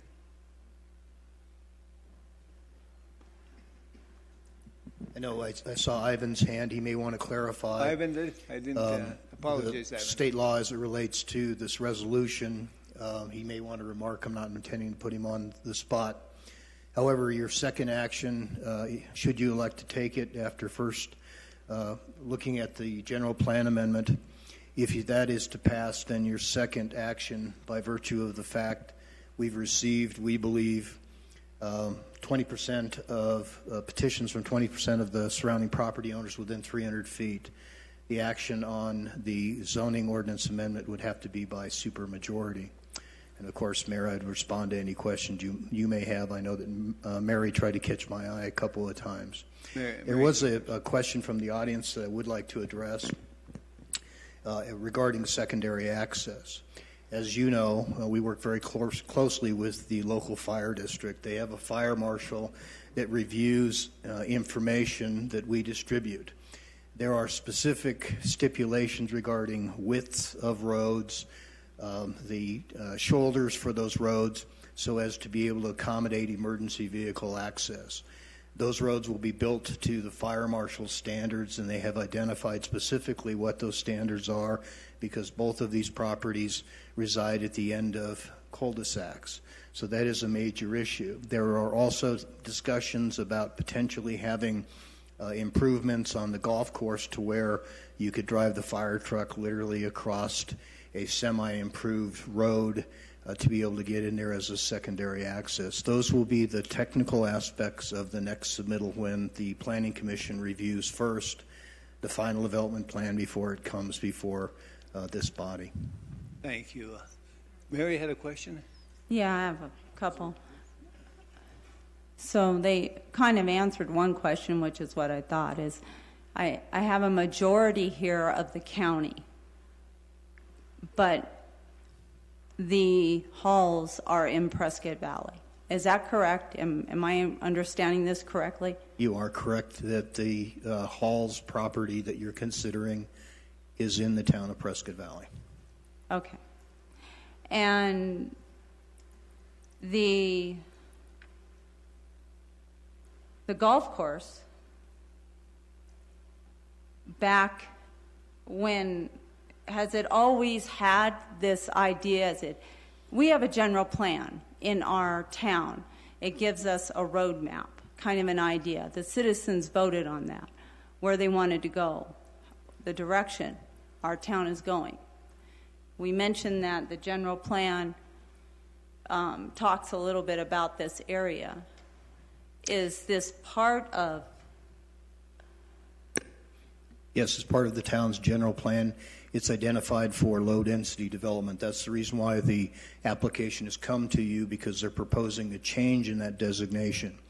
Very uh, similar to other actions that the Planning and Zoning Commission has reviewed for you and recommended to you.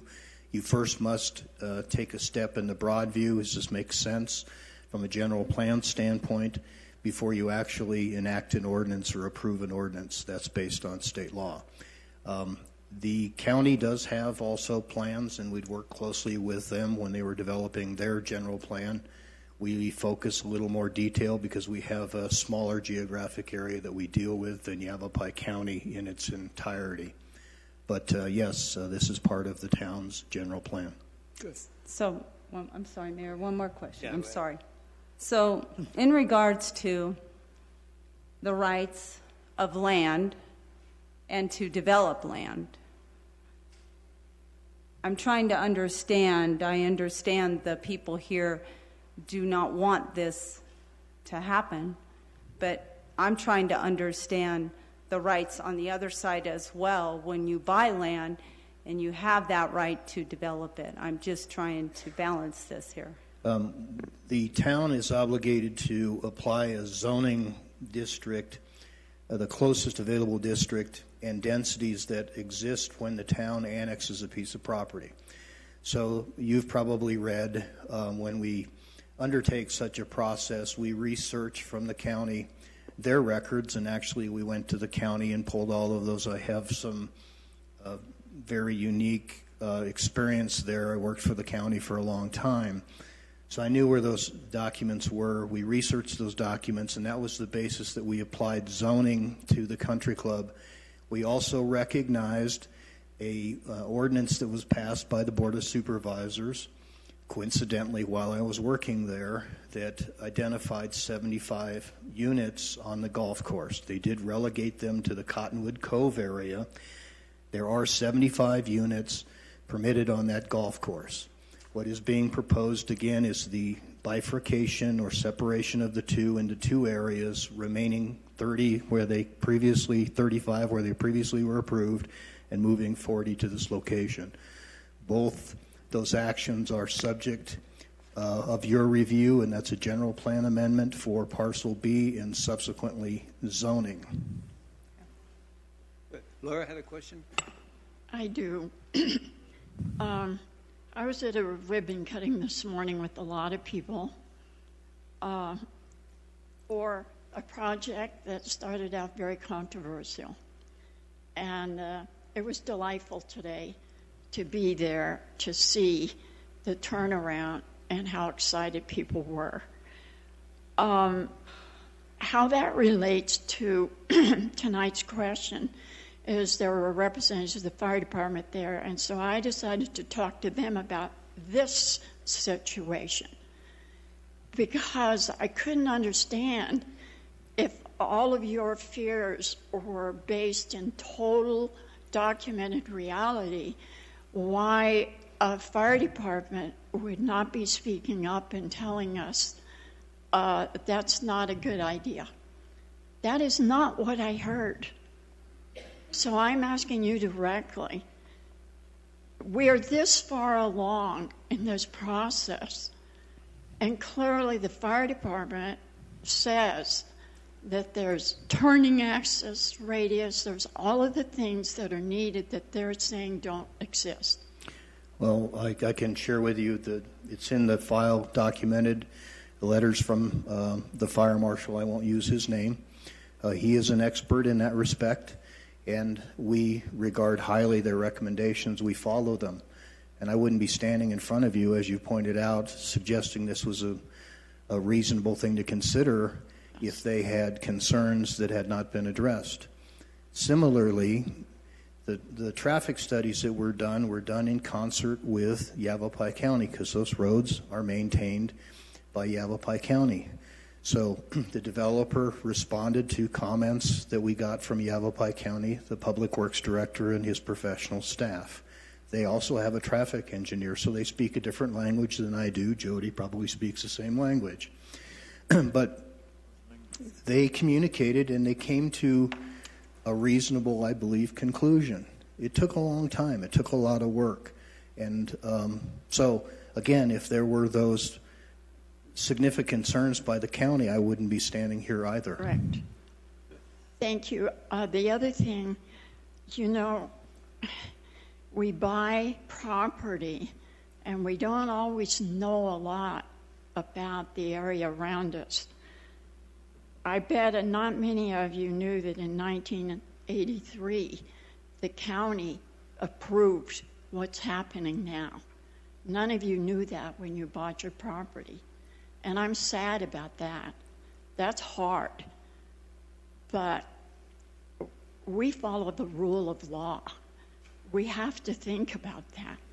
I'm a constitutionist, and I believe in the Constitution, and Constitution gives certain rights.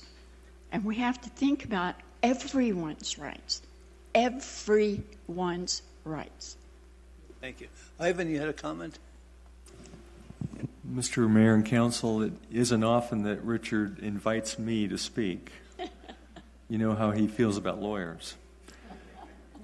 No, no comment, Ivan. I think he's given you actually some good advice. I should, uh, I, I, hate to say that to him because that'll give him a big head, but he's indicated to me that uh, uh, he is uh, recommending to you that even though he does not know if the 20% requirement has been met, he believes that we should go forward with the understanding that it has indeed been met.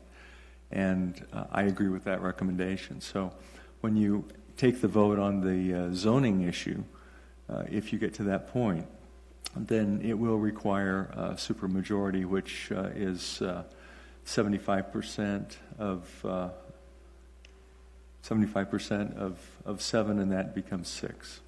Six uh, votes will be required. The first vote will be related to the general plan amendment, and that it does not require a supermajority. But when it comes down to the uh, to the rezoning, if you get to that next vote, that will require a supermajority. Thank you, Ivan. Any other questions? Any other? Uh, I guess so. Yeah, one more comment. You're number ten, by the way. Thank you. Thank you. I have a couple things that I'd like to state because I have letters in regards to this. And in regards to um, uh, the vice mayor, back in 1983, and I have the documents in the entirety, nothing was ever given an okay to Parcel B. Parcel C, when it was twice the size, was given preliminary, providing that they left all the trees, that they did the work along Cripple Wash, that they completely addressed that. And now, through the roads department in the county, when they looked at the plans that they submitted for their little cul-de-sac, back and forth between Richard Parker, of which we have as public records information, they ask that they bring a road from the Clipper Wash down there from the Cottonwood Springs area on either side of the clubhouse to either access Tapadero or to access the other side. And I also have the letter from Jessica Hall that said absolutely not. They are not going to let them have that access. So that hasn't been decided. For all the parts for the roads and all those things, it's all preliminary. These are not final plans, it's sketch. And I've talked to Rick Chase at the fire department, and all the things have to be presented differently. Yes, they could do it if that's the way it is. It's not cut and dried, and you're being told that it's all out there and it's been fine. It has not. The traffic study for down Manzanita that the fellow here did peak travel hours or peak travel time from 6:30 a.m. till 8:30, one car every 3 seconds. 4700 cars a day down Manzanita. It will add to the traffic, it will add to the congestion, and it's not fair that you're being presented that all this has been answered, and it has not. And I have all those studies. We can present those to you, and you need to look at 1983. It was preliminary approval wasn't laid in stone and it was supposed to come back and 40 years later it has never come back and the one thing that we've always said joe scott told me this the first day three years ago when he looked at this the planner. He said i do not understand. There are enough lots in prescott country club to build 100 condominium units today. They have been approved for 40 years and mr hendrickson and his family own most of those lots They've owned them for five, six, seven years. If it was such a need to rezone the middle of the country club to build condos, why don't they build up and down Tapadero? Why don't they build on the other lots that are already approved and have been approved for 40 years? Build their condos there. When they sell them out, when they've done all that, maybe then they can come back and ask for this.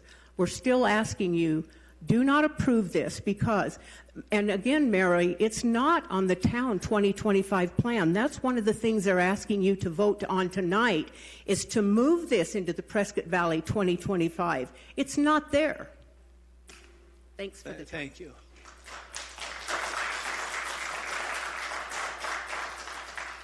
Yeah, I'm sorry.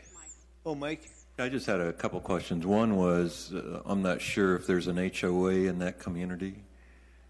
Okay. And the other is, uh, when we heard the information about the traffic, uh, I, I would be interested to hear whether or not, what, cons- what would you consider as the um, maxed out capacity of that roadway and whether or not we're that close or not?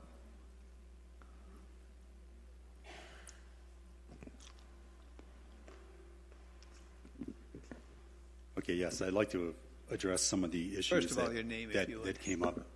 Again? Okay. Name? Um, initially, we collected we collected our, our data collection in July of 2015, which showed in the peak direction in the peak hour about 200 vehicles. And at that point, I think we got comments back from the residents and maybe also the county that stated we should do it when school is in, when there possibly could be higher traffic volumes. So in January of 2016, we collected intersection turning movement counts um, at uh, at the main intersection, and that was shown to be consistent with what we collected in July. And then also what we did is we collected the intersection turning movements by video, and we sent that out to get to get analyzed. And the volume that we showed on Manzanita was equal to about 3,100 vehicles per day, and that was consistent with previous traffic counts and studies that was done previously on Manzanita. And then also on uh, Prescott Country Club, uh, through uh, there was 2000 in 2013 and also 2009, they had daily traffic counts of 5,200, and that was also consistent with what we collected uh, back in 2016. To analyze how traffic is performing, usually with the roadways, the intersections will cause the most delays. And where we analyze the, the, the four-way intersection under existing conditions, it's operating at, during the peak hours, a level service A or B, depending upon what approach. So when we add the traffic to with the maximum traffic that could possibly come from these uh, developments, uh, that the level of service does not change, and it remains at level service A or B. So when you look at the total traffic, you know, a delay per vehicle, that total delay in existing condition is about 9.5 seconds. When we add this traffic and do our projections, it raises it at most one more second. So it's about a second or less than a second of average delay that if all vehicles were to enter this intersection, that's what it would cause. So the intersection and the roadway to me is operating at acceptable levels of service. When typically a level service D would be. Any other questions? I do. I, I want to be clear. uh, you didn't just do traffic studies in January? We did it. We did the initial count at uh, Manzanita and Buena Vista in July 2015. But they're saying that was only done in January, so I needed to clarify. Thank you. Other questions? Thank you, Mr. Holland. Okay. I got, Lo- You got one more comment, Mary? I got a question. Oh, okay. Sorry. Richard? Oh, that's all right. Did you? Yeah, If you use a microphone and, yeah. That intersection is just is up by my house, and uh, that's the only one that did. That's a problem, along with the other one. You go down to Manzanita Trail and uh, Prescott Valley Parkway, a four-way stop sign, which Everything coming out of country club goes through there. Then you go 150 yards past Maverick to the stoplight at 69. That- That is one hell of an intersection. And, I, and regardless of how you guys vote here, you ought to take a look at that area because it's terrific. I mean, people are just mad, okay? And they have not studied that. They haven't looked at it. You're just getting piecemeal stuff. And uh, it's this whole smoke and mirrors deal again. Good, thank you. Other questions, anyone? Any last, I- I'm sorry, one I'm more. sorry, I, yeah. So, I'm, I'm just trying, I, I guess where I'm really kind of stuck at here is I'm seeing people with property. And I'm understanding that as property, you have a right to do, to keep your property or to sell your property or maybe develop your property. So I'm just trying to understand if the gentleman, let's just say, didn't want to put condos, wanted to develop something, he can develop this in whatever he'd like to do. I mean, I, I'm, I just feel like we have a lot of issues. We, we have traffic we're talking about, and, and, and there was visions way back when, and nothing's going to stay the same. We all know that. I'm trying to get to a bottom of probably the right to do as you'd like with the property that you invested in. Can, can you help me out here? Because that's where I'm really I'll try to struggling. answer it in a couple of ways. There is an entitlement uh, on the golf cars, golf course for 75 units. It happens to be in the area we've referred to as C, which is their uh, maintenance facility. There has been discussions about it has shrunk. Well, certainly if in the past it was six acres, we would recognize that original parcel configuration that was presented to the county. So if they wanted to develop that property, they would come through the town of Prescott Valley. We would honor that condition. We'd go through the Planning and Zoning Commission as we have done with Parcel C. We would uh, vet the, the development that occurred or was being proposed, making sure that they address the technical issues that we have all discussed today, probably including traffic. That would go through the Planning and Zoning Commission and come to you with an existing zoning entitlement. What you're being asked to do is look at moving a portion of that entitlement to a different location on the property.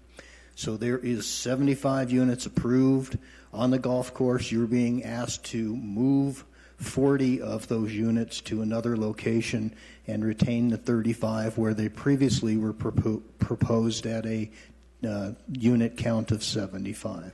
They have a right to develop that uh, number of units on the golf course.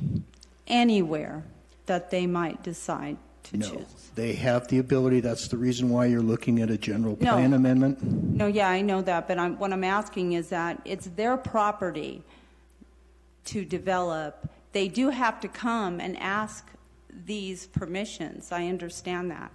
But they do have a right to change it up. Is They, maybe well, what I'm they, asking. they have a right to place them in Area C off of Cottonwood Cove. That's a vested zoning right. They would have to meet our standards, of course. They're asking to move a portion of that vested right another location on their private property. And that Area B is proposed for 40 units, and they would retain 35 units elsewhere. That's the subject of your general plan amendment. And then subsequently, if you approve that, that would be subject of your zoning entitlement on their private property. on their private property. Yes, ma'am. Okay, any other questions? Yeah, I have one. Okay, uh, the general plan amendment that we're going to be voting on uh, basically wants us to go from low density to medium density. Okay, what would be the number to keep it as a low density? Uh, low density would be something under 10. Okay, thank you. Good, other questions? Mike? Yeah, I just had a, a comment. I wanted to uh, kind of relate my uh, experience as well, and I think this is, is, is a common experience in planned communities. I live in one here just south of uh, '69, and we've gone through some changes in developers, just like you have. And I think when we were first uh, working with a developer, and believe me, we had just as much, com- you know, I think uh, committed people, passionate folks that uh, wanted to provide their input to the developer. But I think what Mary is trying to say is, in general, that person owns the property and pretty much can determine where and how he would like to do that, and then come to the uh, town to uh, uh, discuss that, lay it out, and determine what's going to work for both the town and for the developer. But in this case, you know, I think one of the first topics of discussion was the golf course. And uh, I think there was, uh, uh, and we have probably the same number you have in your community right now, about 3,000. And uh, there were pros and cons. And I think some people were willing to see that golf course go brown. Because the option was at that point, the developer said, well, we would like you, the HOA or, or residents of our community, to uh, cover the cost of that golf course.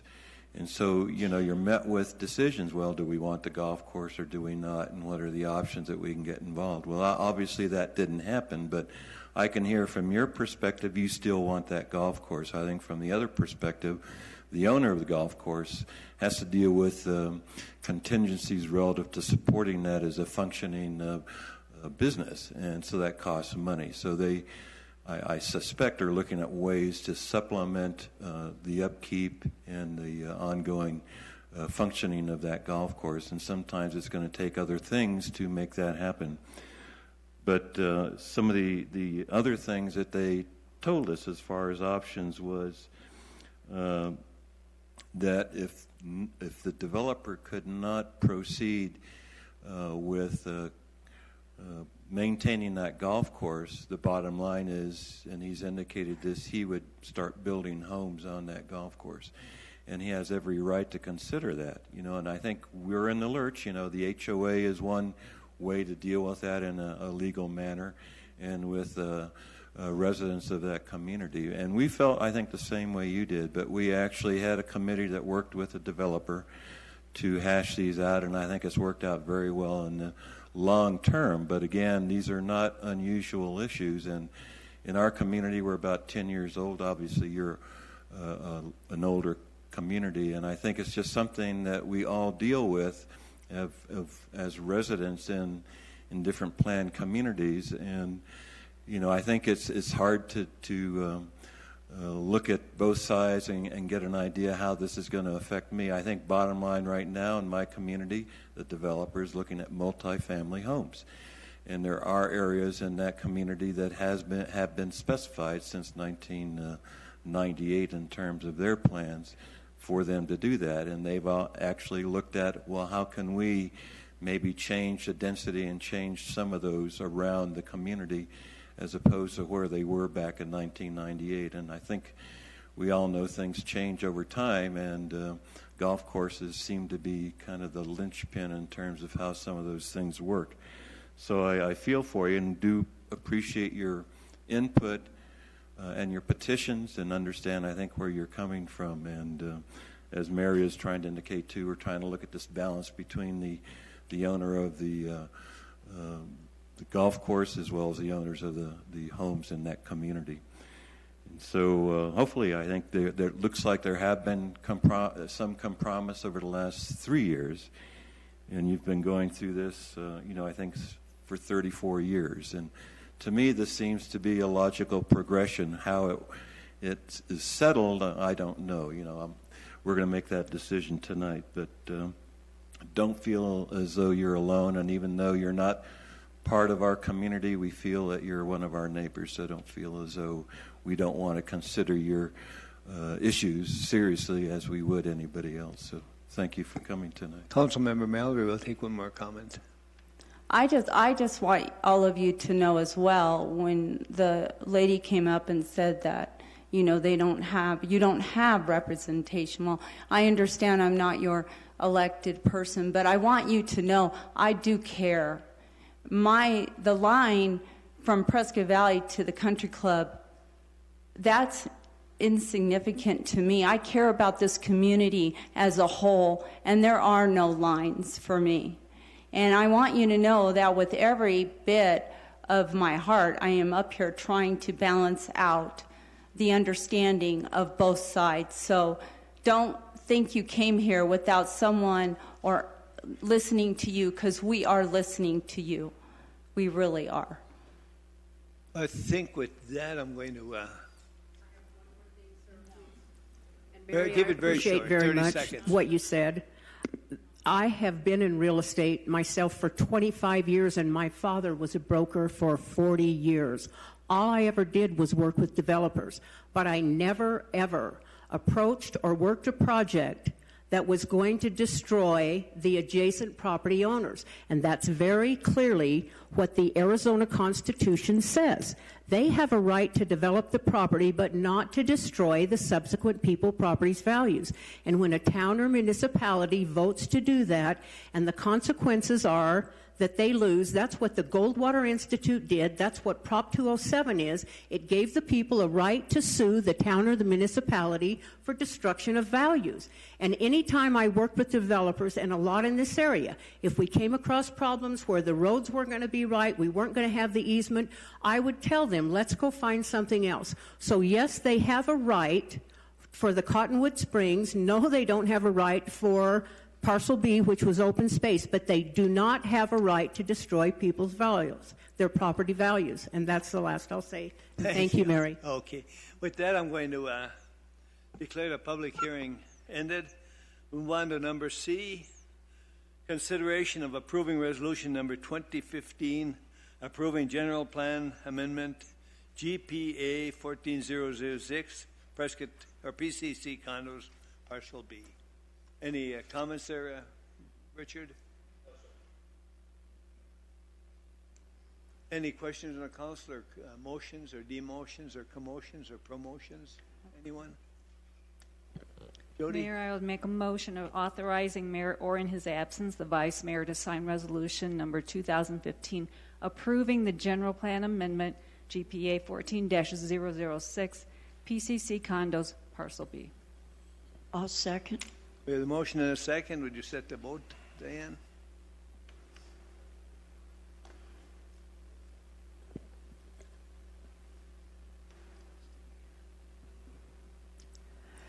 Councilmember Anderson, Yes. Councilmember Rooney, Yes.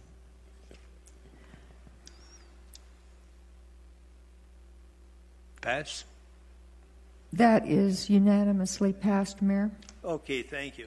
We move on to number D, public hearing again, zoning map change, ZMC dash fourteen zero zero six PCC condos, parcel B. Richard? Yes, uh, Mr. Mayor. Um, This uh, regards parcel B, as you've discussed in some detail, and was last subject of your motion for the general plan amendment. Uh, This motion has to be done by a supermajority, as we've discussed. I would help you respond to any questions from the audience or, at your direction, questions from you, Mr. Mayor, or members of the council. Questions from the audience, you said, or the council? Any questions, anyone? Any comments? Motions? I think it's important Ivan, to point out, comment? this is a public hearing, so you would need to open the public Oh, hearing sorry, for public- discussion. Yeah, we'll, uh, I'm sorry, we'll open the uh, public hearing again. Any more uh, comments the public? Any question? If there is none, then I would uh, declare the public hearing closed. And we move on to uh, E, consideration of approving the reading of ordinance number 835 by title only on two separate occasions, then place the same on final passage approving ZMC 14006. We do need a motion on that if, uh, unless there's questions. Mike?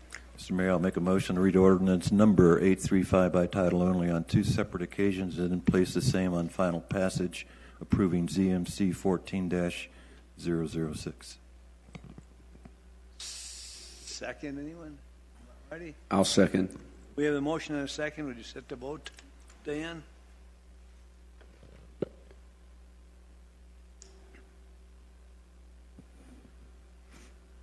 Councilmember Rooney, Yes.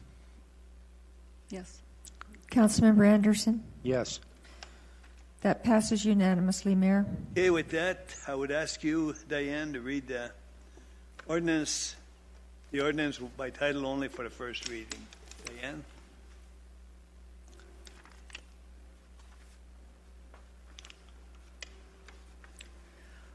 Ordinance number 835, an ordinance of the mayor and the common council of the town of Prescott Valley, a municipal corporation of Arizona, amending town zoning map ZMC 14-006 by changing the zoning classification of approximately 4.18 acre portion of the Prescott Country Club, generally referred to as Parcel B or the Triangle area, from R1L PAD, residential single family limited planned area development zoning, to R2 PAD, residential multiple dwelling units planned area development zoning, and providing that this ordinance shall be effective 30 days after its passage and approval according to law.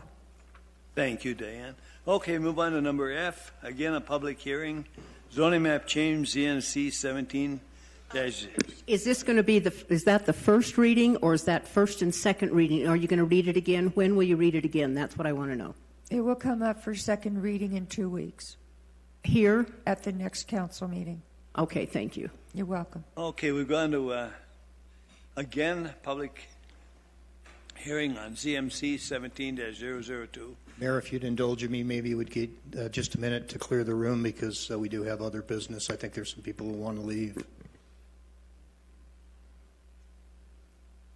Is on Windsong Senior Living. Uh,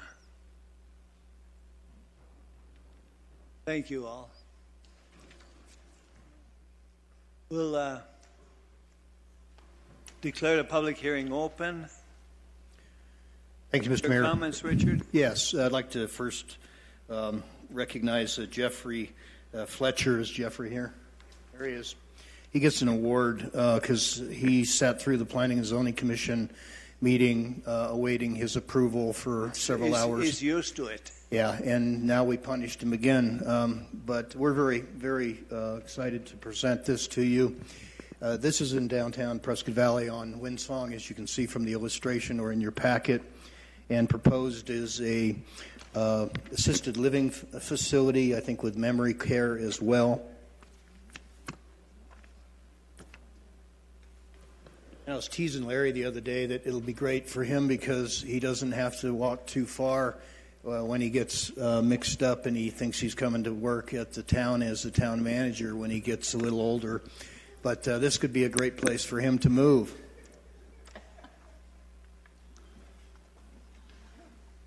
This is a site layout, and of course, uh, for those who are familiar with the property, it's immediately adjacent to the Samaritan um, facility. And we believe, as, as the town staff, that this uh, is complementary uh, to those uses. The Planning and Zoning Commission uh, reviewed uh, this matter and unanimously recommended approval uh, to you of the zoning map change. Uh, they also, at the same meeting, um, approved a preliminary development plan, um, and we are in hopes that we'll have a final development plan in front of you here very shortly. I would respond, Mr. Mayor, to any questions you or the council may have, and I'm very uh, pleased to introduce uh, Mr. F- uh, Fletcher to the, the town council and you, Mr. Mayor. Mr. Fletcher, welcome.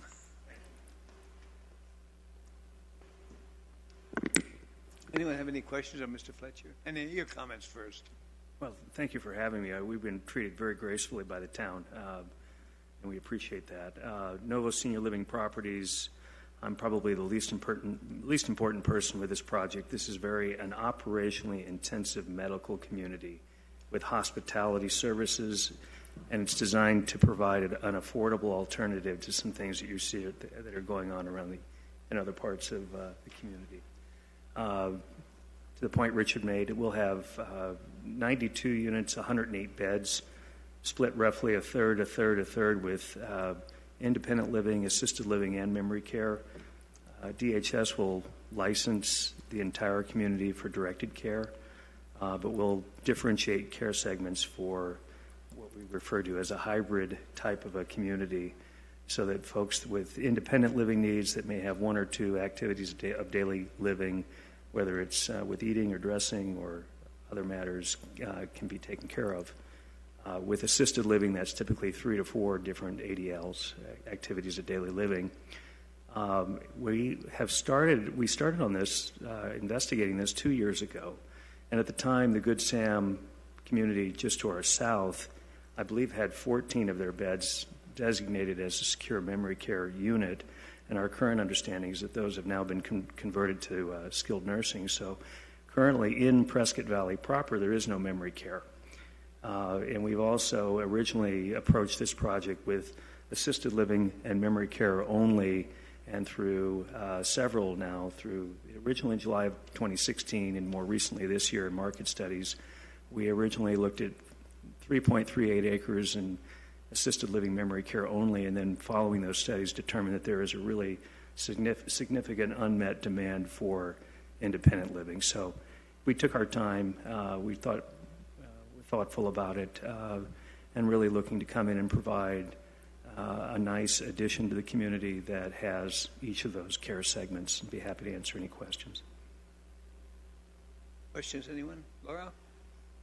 I don't really have a question, but I'm just so relieved this is happening. uh, uh, you know, I may be one of those. especially after tonight, it may come on a little sooner.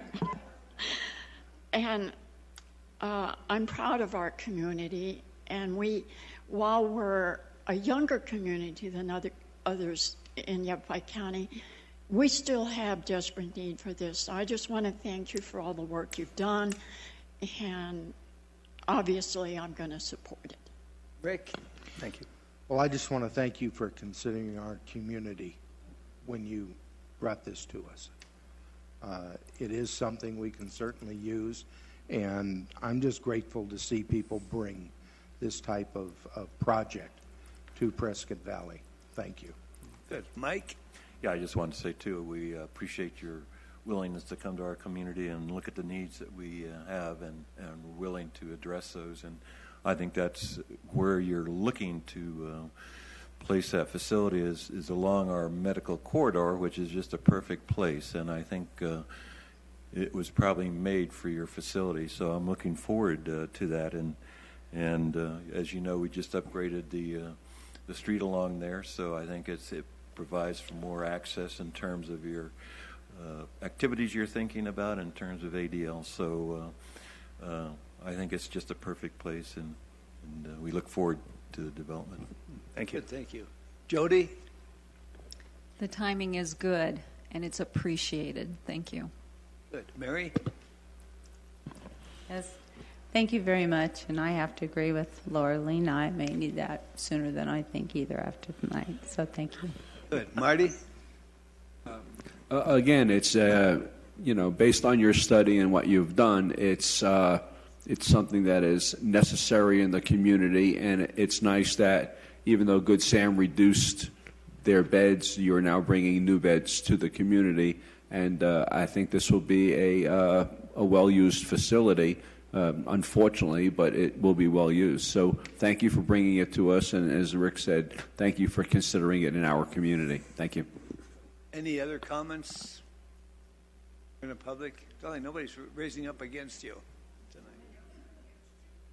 I think everybody's pretty happy with the project. Happy to take reservations. yeah, uh, come on up. Your comments? okay, we'll get the okay.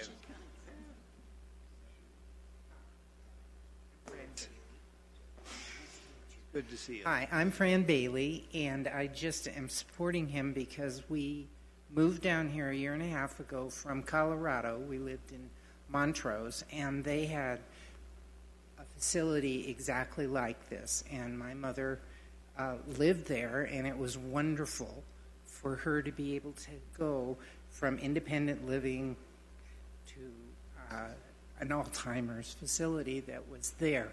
And it wasn't changing her and moving her from one town to another. So it really is important to have that here in Prescott Valley. So Well, I Thank you and welcome. Good. Anything else, anyone? If there's, uh, if there's no uh, further, anything else, Jeffrey? Richard? If there's no other comment, then I'm going to declare the public hearing closed, and we'll move on to G, and that's consideration of reading ordinance number 836 by title only on two separate occasions, and then place the f- same on final passage. Approving zoning map change A- ZMC 17002, Windsong Senior Living.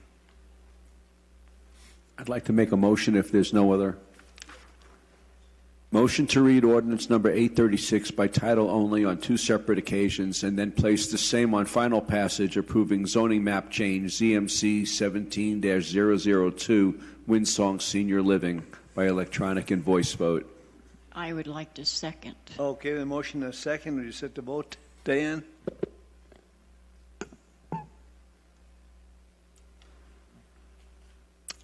Councilmember Rooney. Yes. Councilmember Anderson. Yes. Mayor, that passes unanimously. I bet you were worried, weren't you? Thank you so much. Okay, well, uh, with, with that, I'll ask Diane to read uh, the ordinance by title only for the first reading. Diane? Ordinance number 836, an ordinance of the mayor and the common council of the town of Prescott Valley, a municipal corporation of Arizona, amending the town zoning map to change the zoning classification of an approximately 4.78 acre parcel located on the west side of Windsong Drive, approximately 900 feet south of Lakeshore Drive, from C1 pad commercial neighborhood sales and services planned to, zo- to RS pad residential and services planned area development zoning, and providing that this ordinance shall be effective 30 days after its passage and approval according to law. Thank you, Diane. With that, we'll move on to H, consideration of approving resolution number 2014, adopting policy number 1-01, wireless facilities and collocation right away.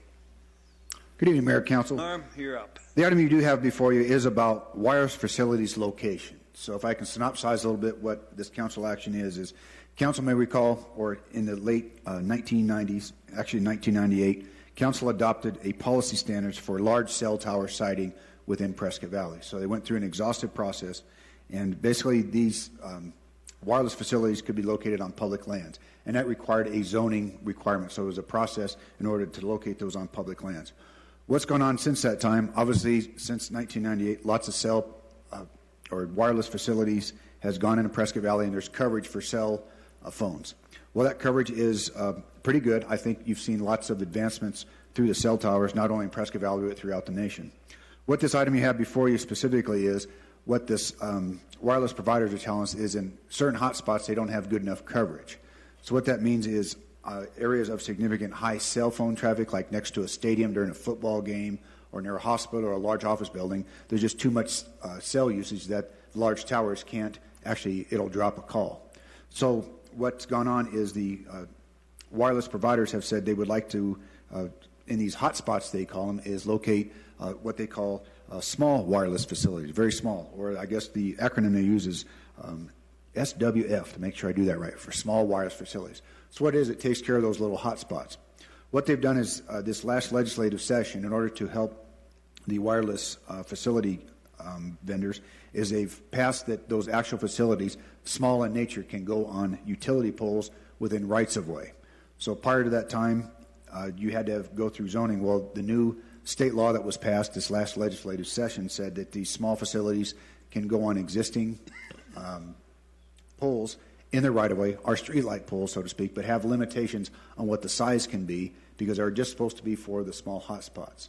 So this was a bill that went through the legislature. There is a deadline that we have to set new policies per the state law uh, by uh, this February 18. So our uh, town legal department has worked long on coming up with a new policy, and which, in addition to the large facilities, is what would be a policy for co-location in rights of way for small wires facilities for these particular hotspots. So It is a change, uh, just an addition to our current policy for these small facilities. I know Ivan in the legal department has worked a long time on this, so if there's anything I think Ivan would like to add, it'd be a good time too. Back in the late 90s, we thought we had this figured out. Uh, that was uh, the effort that you went through and uh, had a study done, and we brought in um, uh, Mr. Uh, Nye, who was uh, an expert in that area. And he uh, worked with us to set up the process that we have in place where we made sure that uh, wireless facilities uh, had easy access to the PL zones and could uh, use those areas without having to go through rezoning simply through a, a lease. And uh, he, uh, we gave him a first right of refusal, and he would go out and, and then enter into subleases with uh, these companies that were that were uh, taking care of, of the facilities and providing the service. The one of the beauties of that was that we were kind of centralizing those facilities on the uh, public properties where they typically weren't quite as close to residential areas. And we thought we were accomplishing many good things by, by centralizing that, making it an easy process. Uh, they could still go in the commercial areas if they chose to, but they didn't have the right to do that. They then had to go through a rezoning process. And uh, it also brought some revenue to the public facilities, and so it was a good way to, to do things. what's happened is that this uh, technology change, where the providers now want to have many more facilities and have looked hungrily at the public rights of way and said, we can, we can go in there and we can start having many, many of these on uh, existing poles. Uh, that didn't quite work well for this system that we had set up because the rights of way uh, take on the zoning characteristics of the property next to them. So uh, most of our public rights of way are in commercial or residential zones. And we then didn't have a mechanism, a means for uh, allowing those facilities to come in. Uh, the legislature basically took that away from us and said, fine, you've got your system in place, that's all well and good, but we're now going to basically tell you you must allow these in the right of way, uh, regardless of what other conditions you might want to apply. And uh, we're going to also tell you that you've got to do it for a certain price. Uh, you can't do it uh, based on any concept of owning the right of way. Uh, the right of way is just there for this technology, and we want to favor the technology. So, uh, and, and Larry's whispering in my ear, being the technologist that he is, uh, he, he loves that to a certain extent. So, what we needed to do was we, we could either completely undo the system that had been set up in the 1990s, or we could come up with two systems. And that's essentially what we've done. Uh, we still have in place the system that was uh, put together uh, in the 90s. Um, but when it comes to the right of way, regardless of what the zoning might be, state law supersedes that. And so, this policy that we've adopted will now attempt to comply with the state statute and policy and allow these facilities in the right of way as the state has mandated they should be allowed. Larry? Yes, uh, Mayor and Council, uh, one thing that I discovered at the, uh, the League of Cities is that this is an interim step. Okay, there's a pilot project going on in Yuma right now yes. Uh, that is going to completely undo uh, systems that are in place and be replaced by a very tight grid in a community. Uh, there will be no dead spots. There will be uh, no, no difficulties. And so, quite frankly, what we passed in the late 90s has survived nearly 20 years. And in the world of technology, that's amazing. And so, we just need to be agile enough to uh, stay up with state law, one, and then number two, work well with all the different providers because our community wants it. Our community wants to have great coverage. They want 5G, not 4G. And they don't want to drop calls like Mary does when she calls me. And uh, so, you know, what it is is the technology continues to evolve.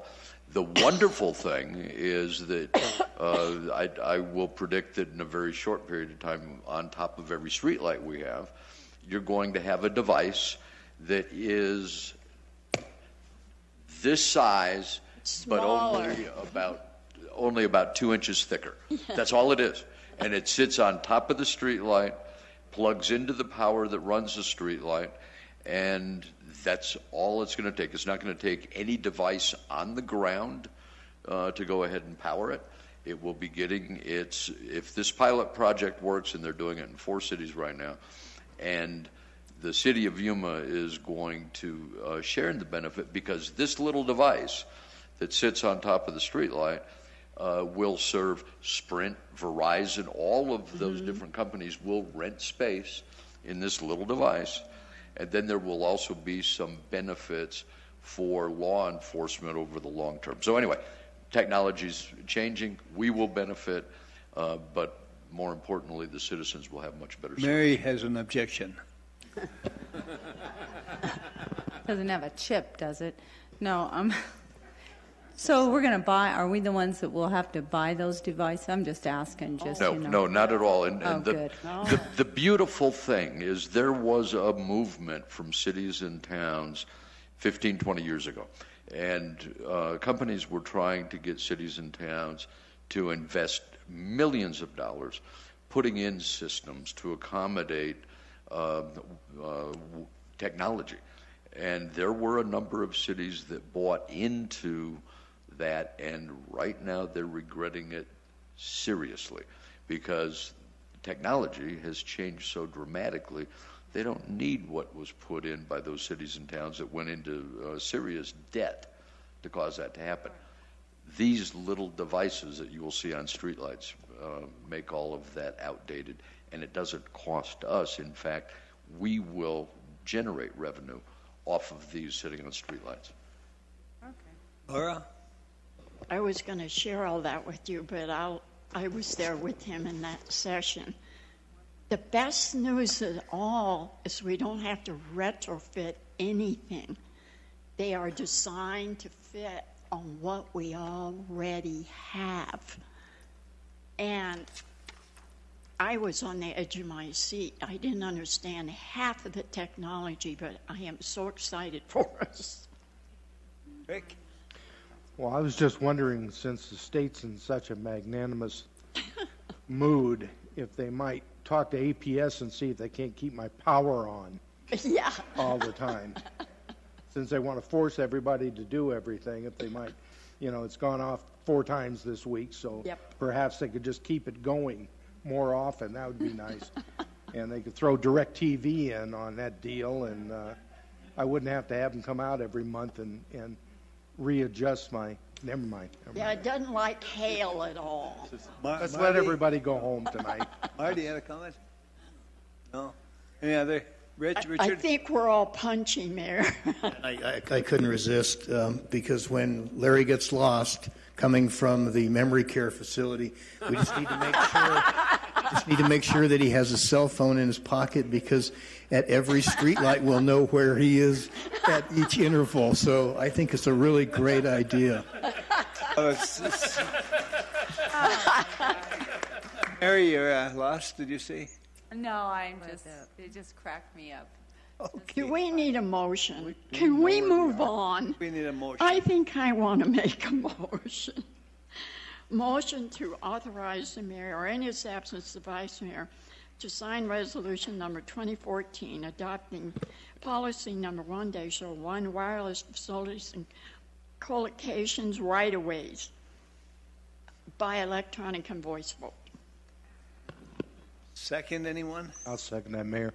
Okay, with a motion and a second, would you set the vote, Dan?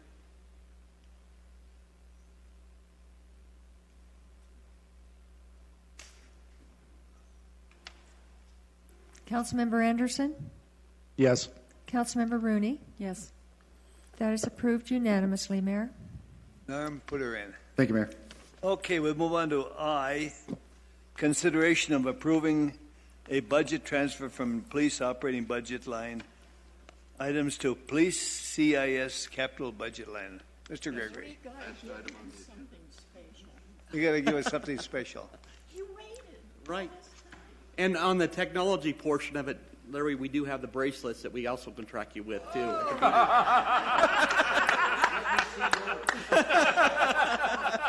Larry's got his ankle bracelet. Does that count? Well, the, um, the Prescott Valley You Criminal want to use Investigation- the microphone just a little closer?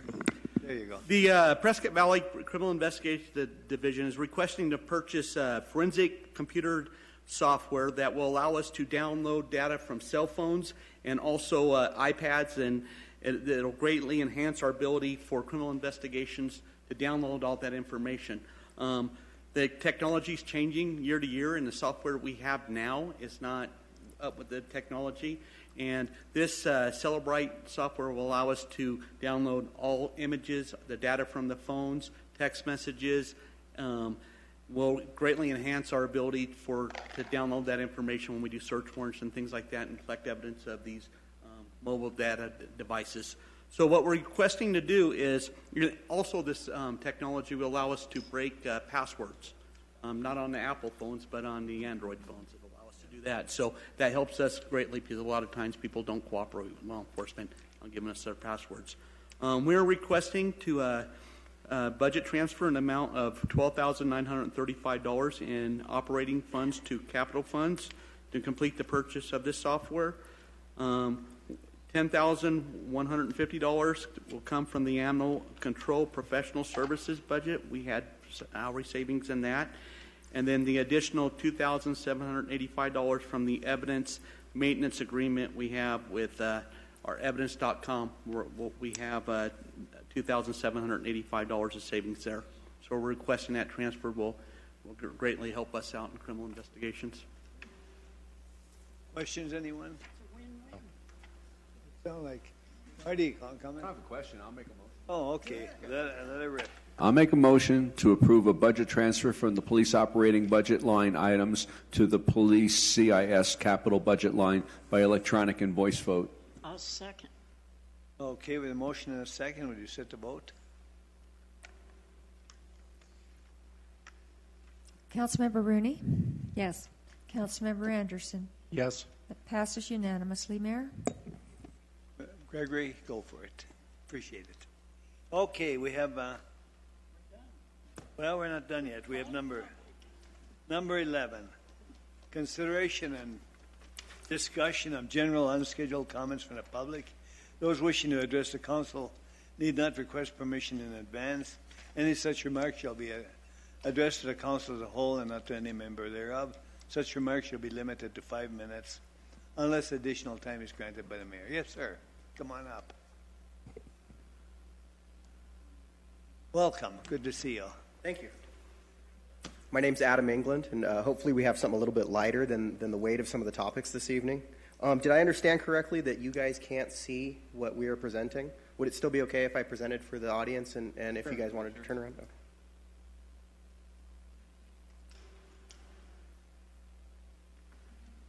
Okay. While that's uh, updating there, um, like I said, I'm, I'm Adam England. Thank you for having me, Mr. Mayor, council members, other dignitaries of, uh, of the town. Um, nearly lifelong resident of the town of Prescott Valley, um, having graduated the Humboldt school system, grown up with uh, some of your children. Uh, Ivan, I've probably pilfered more out of your fridge and pantry than I'd like to admit during my high school years, um, hanging out with his, with his kids. Uh, but tonight I'm here as a volunteer of the Prescott Astronomy Club. And we wanted to really just give a big thank you to the town and you guys in particular for your partnership with us over the years. Uh, we like to share our passion for stargazing, and we usually do that three to four times a year at Pronghorn Park at the, the beautiful facilities there. And we have free, fun, educational events that we invite the public to come out to and, and uh, look at the sky and see, what, see what's out there a little bit further than, than things that are uh, close distance here on Earth.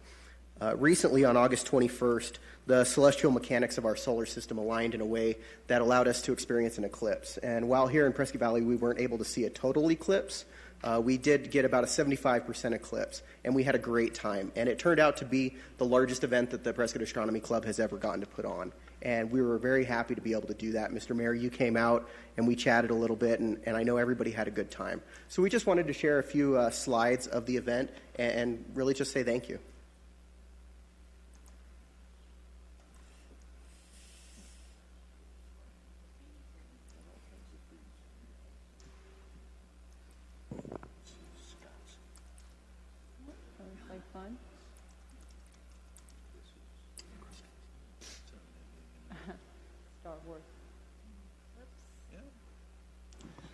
While you're loading that, Yeah. I came, I was there for part of it, and then I had to go up to my office on the fourth floor. I took a lot of pictures of what was happening down there and sent it out on Facebook. and I may have stolen one of those pictures from your Facebook page. It was a great view looking over the whole grass I area. know, and it was so much fun how people responded. They were jealous. It was amazing. Yes. It was it was an amazing opportunity for the community. Now, let's see if this thing will. So leading up to the event, we did a lot of uh, advertising and whatnot. We got on local TV and radio. Uh, we were the feature article in the August 5 Census magazine.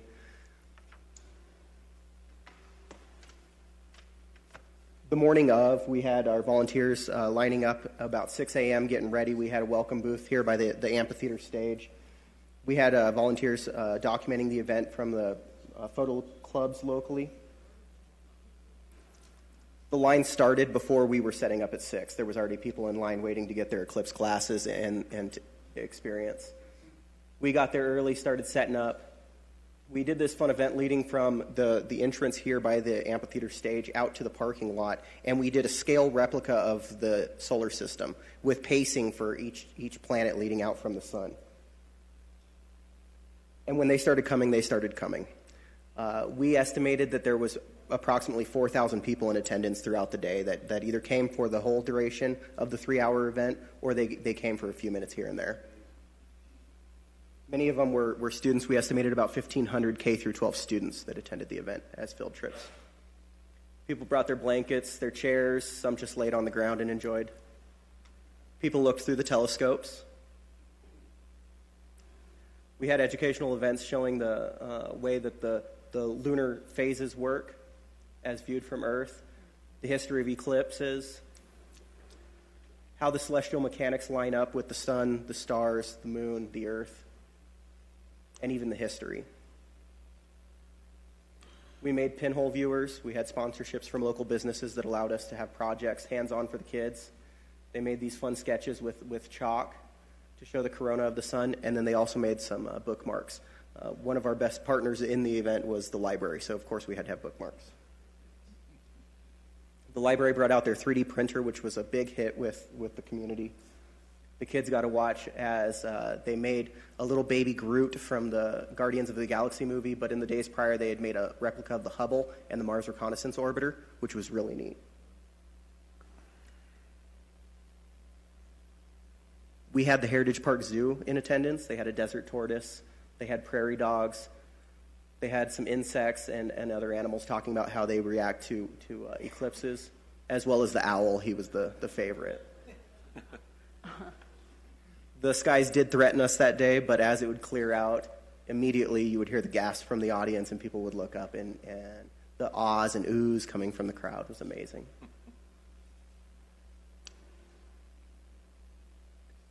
Everybody came and had a, a great time, everybody from all ages even dogs. And despite things that were going around in social media, dogs do not look at the sun. And no dog's eyes were damaged during the, the course of the eclipse. Everybody wanted to document the event, and even though we had our photographers, everybody had their cell phones out coming up to the telescopes trying to get a picture. Some of these might be the ones that uh, I, I pilfered from you.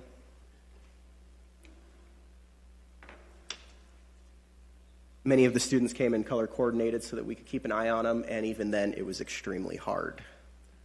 There's only so many colors. We gave away a telescope. We found this young lady who was so enthralled with uh, astronomy that we, we gave her a telescope as she's attending NAU as a freshman this year. Oh, that's awesome. This was all of our partners throughout the day. We had a great time. We had schools come from as far away as Camp Verde, Prescott, uh, Chino, Prescott Valley, of course. And that was our volunteers for the day. So we just wanted to say thank you for allowing us to, to participate in this on your premises. Mr. Mayor, you mentioned that many times things come at a cost to the town, and this didn't really cost the town anything other than some tables and canopies that you already had. We were able to secure donations and, and volunteer time, and that's what really counts. So thank you. Just keep it up. Keep bringing people in. We'll, we'll keep doing it. Appreciate that. It was a very proud day. My family down in Phoenix, of course, who looked at the Facebook, were very jealous. And they Good. said, you know, someday maybe we can retire and go there too. Everybody should be jealous of Prescott Valley. Thank you. Thank you, Adam.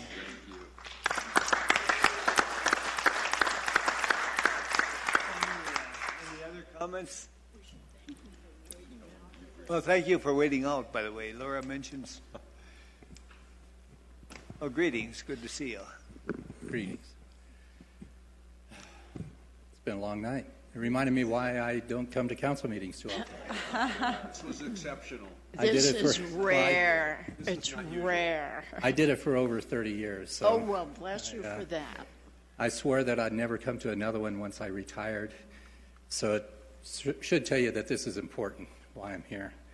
I was, um, I was glad to see in the, in the flyer that just came out with the water bill uh, about the town and their flood control and drainage plans, because that's what I want to talk about, something along those lines.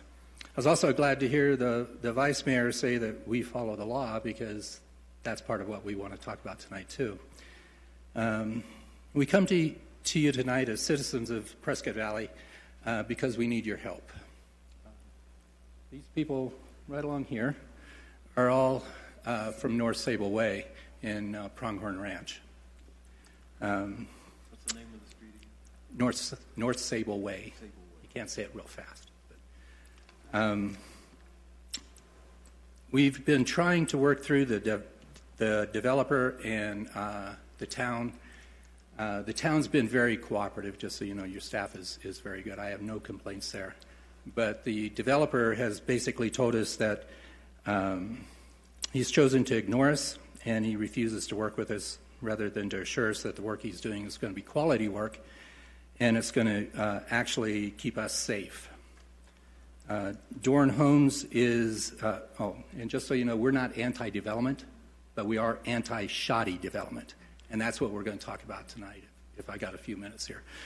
Um, Dorn Homes is developing land uh, just north of North Sable Way. Uh, there's a drainage ditch, a drainage channel that separates our property from, uh, from theirs. Uh, that channel, um, they've done some work in. Uh, when they first began to uh, develop out there, they actually built a, an earthen dam across the channel. We contacted the, the city and, and or the town. I'm used to cities, sorry. I've, I've been here a year and a half. I'm working on it. Um, we contacted the town, and uh, Public Works made them open it up so that so that it would drain. Um, but they needed access for their trucks, so they still had trucks coming across that uh, during the time, but, and it would sort of drain. It was better than having the dam across it. Uh, actually, building a dam across it um, seems to be in violation of, of uh, your flood control ordinances. I did download your ordinances and started reading through them. Sort of tells you the other part, how important this is to us. Uh, if you ever sit down and read the ordinances, they're interesting. Um, but anyway, uh, as they developed, uh, they also built a dam for uh, a retention basin or a detention basin up, up towards Antelope Meadows from us. Well, the dam, from what I can gather in talking to people, wasn't built to the plan that was given to the city. Um, and in fact, now Dorn has gone in and uh, modified the dam, again, without any plans coming to the city that I, I can find. Uh, I did talk to the Assistant Public Works Director on Monday, and as of Monday, he had no plans as to what that modification was going to be. He didn't even know that they were building. Uh, I have pictures of what the dam looks like now. Uh, they raised, the, raised it another about two feet or so and put in a new drain to it. All of this is to slow the water down as it flows from uh, really viewpoint across uh, uh, Pronghorn Ranch and then out into Coyote Springs. As you go through this, you come to the dam where now they have the, uh, they've done some modification to it, but then you have a swale. So the land actually goes down into a little trough. And, and then there's a concrete pad that they, they poured across the high pressure gas line that runs out there. Um, and my understanding from talking to uh, one of the surveyors was that there's only a drop of one foot from the, the original dam to the top of the um, uh, concrete pad. And I'm going to run out of time. I'm sorry. Can I have a few more minutes? Okay. Um, and then there's only a one foot drop, but there's also that swale in between. So the storm that we had yesterday, there's already water standing in that swale. Um, then you come down, as you come down uh, the channel, you come to North Sable Way. And they put in, uh, after they took out their little earthen dam, they put in six pipes. And these six pipes, they put uh, about three and a half feet out, they put 15 inch rock. After they dug it down about 18 to 24 inches, they set the rock in there. And that was to slow the water further so that as it, the, the ground would have time to absorb it and it all wouldn't dump into Coyote Springs all at once. Uh, they did that on both sides of the pipe. But on the, on the eastern side of the pipe, they didn't open it up so that it would drain out to the channel into the basin that's there. Now, all the, all the homes on the east side of North Sable Way also have a channel behind them, and that drains water out of Pronghorn down into this basin that eventually goes out into Coyote Springs. Well, since they didn't open it up, and we told them at the time, I did work in flood control for a little part of my career. Uh, we told them it wasn't going to work because there's no place for the water to go. They didn't open it up. And the engineer looked at me and said, You're an accountant, you don't know anything, basically. Um, without saying those words, that's what he's implying. But today, this is what the, the pipes look like. The, the ones over here are half full of debris and silt. All the riprap that they put in front and all the riprap that they put on, on the backside of pipes is gone. So they're going to have to rebuild this whole they won't have to take the pipes out, but they'll have to rebuild all the, the riprap and everything that they put in there. But they also put a, a concrete apron, and you can just barely see a little bit of it here in this picture uh, because it's under silt now. So this whole system failed, and they hired uh, a consultant from Prescott to um, sort of guide them through this because it's really questionable whether or not they've ever done true land development. They build houses, but they don't put in utilities. So he was assigned to talk to us on April 16th. I got an email from him saying that I'm now the point person. And just a week ago, I got a email from him saying that I'm, I'm not going to answer any more of your emails. Uh, if you want to talk to anybody, talk to the town. So here I am. because I talked to the staff, and like I said, the staff's been great. But what the staff, you know, dealing with with uh, dealing with Dorn has been a pain because there's a, also a noise ordinance about when they can start construction. So when they started digging out the, the channel to put in the pipes, they started like at 6:30 in the morning one day. I contacted them. They said, "I'm sorry, it'll never happen again." When they started building their first house, they started about 6:30 one morning. I called them. They said, "I'm sorry, it'll never happen again." Now they're putting sewer lines in uh, in the new section that they're going to be developing, and they started about 6:15 in the morning. And this time we contacted them, and I sent an email to uh, uh, Boyd, the assistant public works director, and of course Doran came back and said, "I'm sorry, it'll never happen again." somewhere along here we missed the point about never happening again. So, what we would really like to hear from the town is that you have our back. Because these guys, they don't care about the law. They're building things without, without permits, they're building things without plans that the town has seen. And so, and they don't care about us, you know? So I'm coming to you because you do represent me, and you're the ones that are supposed to take care of the citizens. At the end of the day, it falls on you. And so we ask you to put the hammer down on Dorn. Uh, If they want to build their houses, that's fine. We have no problem with that. What we have a problem with is the drainage. I asked for a hydrological study, a drainage study. Apparently, there's never been one done out there except maybe 15 years ago when Pronghorn Ranch first started to develop. Well, now there's 2,000 and some odd homes, and Dorn just added 300 and some more that he's building, and then they add, came back to the town and got 55 more put into this. So that has to change the drainage somehow. When you put that much impervious area on top of the land, the water's got to go somewhere, and it's going to find the easiest way to go there. At the end of this drainage system that's still within the, the town, there's uh, a huge concrete block, for lack of a better term, that has two or three pipes in it. They point directly at a house in Coyote Springs. And so this guy who lives there, every time there's a large storm, he gets gushes of water coming at his house. There's a house further north, uh, and the lady who lives there told me that she can't she can't even send her horses into the lower pasture anymore because all the sweet grass is gone because now it's all flooded out and it's all weeds and it's all coming off this project here. And this is unfortunately Dorn bought the property, uh, I guess, knowing that there's drainage issues and they're going to have to fix them. Well, they're not. They're exasperating the people who live out there and they don't seem to care about your ordinances. So I was really glad to hear you say, Vice Mayor, that we are all about the law. Good. So we ask you to put the hammer down on them, stop the development until they can get the drainage fixed. We just can't deal with it anymore. I think uh, our town manager has a comment. Yes, we're abundantly aware of your concern, and we do have your back. And you have been in contact with the Public Works Department about every week for uh, quite a while.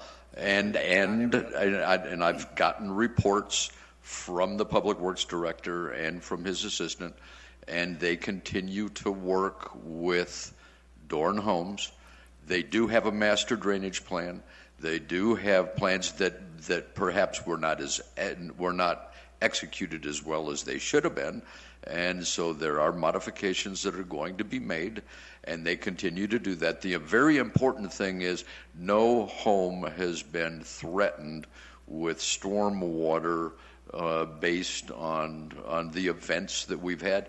We've Yeah. had some water backing up. We've got silted up structures. Those are all going to be taken care of by the developer. And so uh, we ask that you be patient as they continue to build out to the north. We are abundantly aware of the 100 year floodplain that the properties that you referenced outside of Pronghorn. They are sitting in a 100 year floodplain. They have always had problems. There is now some concentration, which is why there are detention basins being built. And so they continue to work on that. So, with that in mind, uh, we would ask that you be patient.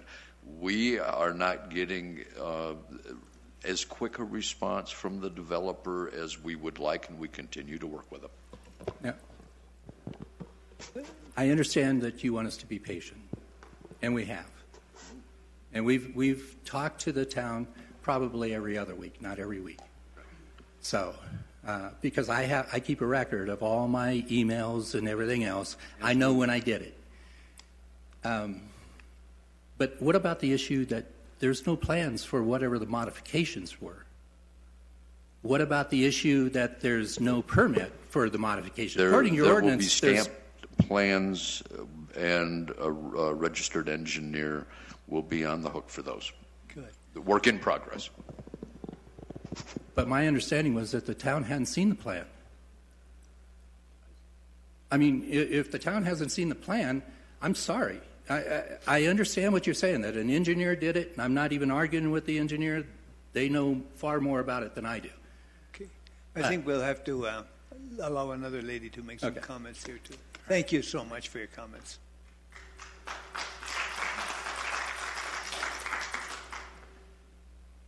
Greetings, good to see Hi. you. Yeah, hey, my name is Pamela Carver. I'm the lady he's talking about over there. Um, we are situated, what they say, we are in the 100 year floodplain. Um, we weren't until 2005 when Pronghorn came in. Um, I'm on the second property north of in Coyote Springs where those pipes, those god awful pipes, are facing our property. Um, we've been there for 26 years. Prior to Pronghorn, never did we flood. And there were three major floods in September of 96 that closed Coyote Springs Road three places in the first mile. That water is shows that it comes from a floodplain that goes to us. It never even made it halfway to where I'm at because it soaks in. Now there is no place to soak in. Um, basically, uh, our 100 year floodplain, and if you look at it through the county, reflects exactly where the flooding was in 2005 thanks to Pronghorn. There were actually houses in Coyote Springs that were islands that were never flooded. Because, and from my latest trip out there, I actually looked at the drainage. Everything, everything from Pronghorn Ranch travels a mile and three quarters to my house. Never has it done that. And i we've been out there a long time. And I know my neighbor to the south, he actually had a survey done and was given the paperwork, the elevation survey. He was not in floodplain until Pronghorn came in. Now, since Pronghorn has come in, 2005 we had the 100 year flood, which mimics exactly what FEMA shows. 2009 we had another one. 2014 we had another one. 2017, this year we've had four, I would say 50 year floods. All that water from those pipes that comes off a pronghorn that shoots at our house, and they are ugly, comes right to us and goes north doesn't go to their property, it's on ours. Now, my bottom, I'm on 10 acres. The bottom five properties is a recovery site for burrowing owls.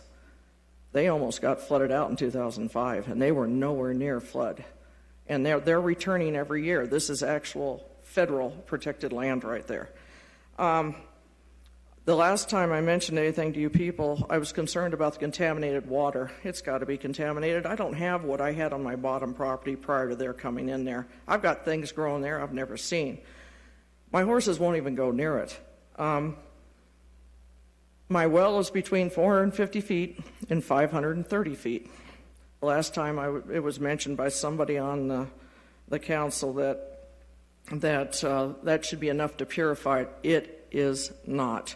I'm tempted to do a ground dirt survey and I'm tempted to do a water survey because, according to Western Technology, who does these tests in Flagstaff, it takes 1,500 feet to purify this water. I don't have a well at 1,500 feet. That's the city well. It's not going to be purified. Uh, my neighbor to the south, his well, wife will not drink the water out there. So far, we're still alive, so we're we're drinking it. But um, Dorn said that they were going to keep track. I went to every meeting they contacted me by, and nothing. Several months I've heard nothing from them. Nothing's been done. When that detention basin was put in, we had no. Brown put it in. That was the builder at the time. Um, I saw the plans for it. They've disappeared. County doesn't have them. Anybody else doesn't have them. There was supposed to be a berm in front of that. Those four huge, they're this high. In 2005, the water was coming out three feet high on each one. It was gushing out that bad. Um, there was supposed to be a berm in front of that. It's magically disappeared. It no longer exists on any plans. Um, the property value, I don't even want to know what's going to be because right now the city owns the land and everything to the north, and the weeds are this high. Against my property, my property, if I could have just a, a minute more, my property sits right up to them, right on the property line. When they put the high power sewer line in, it's just a few feet from me. Then they put a, a um, uh, chip seal road there to get to the relay station or whatever that thing is to the north of us. Uh, there are three manholes on the base of my property on your land. Uh, they're airborne. There's no dirt around them. They are not sealed. Anything that floods goes over the top of them, and anything that's in it could come back up. They are not sealed. Dorn, uh, the original plans, they haven't kept me in the loop, so I don't know what they're doing now. They had, right where our property is, they had 300 feet, according to FEMA, of floodplain. I have 300 feet. So far, so good as far as that goes. Dorn wants to move their properties in the houses and only give 90 feet for easement for flood control. In that 90 feet is the chip seal road and the manholes. And they want to raise up their property by three feet and put the houses up. I don't know where that water's going to go. Antelope Meadows is going to be inundated. My house is high enough, I don't worry about it. It's going to be ugly because there is there's so much water coming from places it never came from before and it can't soak in. Now we have water coming off of houses. You've got herbicides, pesticides, whatever else they've got, oil. It's not good. If they're going to build houses, they should be able to contain that water on their land, not ours. And I'm just hoping somebody keeps up with it because we didn't have this problem prior to pronghorn coming in here. Um, we could watch. The only time we had problem with at the base of our property, and it was a little bit, was because Antelope Meadows had a stock tank there, and they knocked that out. Before that stock tank was taken out in the 90s, the water would back up a little bit and sink right in. In an hour, it's gone. It's not gone. It takes hours now for our water to go down, and it's just a mess. And those weeds are horrible. So I just. I'm just uh, throwing this out there for your information because what we have now is not what we've had before. People can build, I understand that, but don't dump everything onto us. So thank you very much. Thank you, Pamela.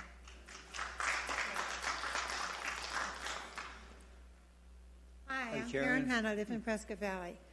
One thing, I had a situation in 1995, and someone on this council knows it. According to the zoning code law of Prescott Valley, a developer cannot impede the land where the flow of water can impede onto another property because that's a violation of the town code because I, ha- I still have the code of this day. Number two, um, you, with the walking path, and I've mentioned this to the planning and zone, you know, Norm Davis. A lot of people got brains in their butt. And when they have this walking path and they see this tiny little sign when you cross Manly or Spouse or Loos, they think the cars that drive down Manly, Spouse, and Loos think we have to stop for them when they go ride their bikes across the walking path. And I would like to have, instead of having a tiny little sign, make it a little bit larger yield sign where people could say yield because it's just like if you come from a side street and it says yield, that means you must yield to the right of way. But the people who sit on their brains think we cars have to yield to them.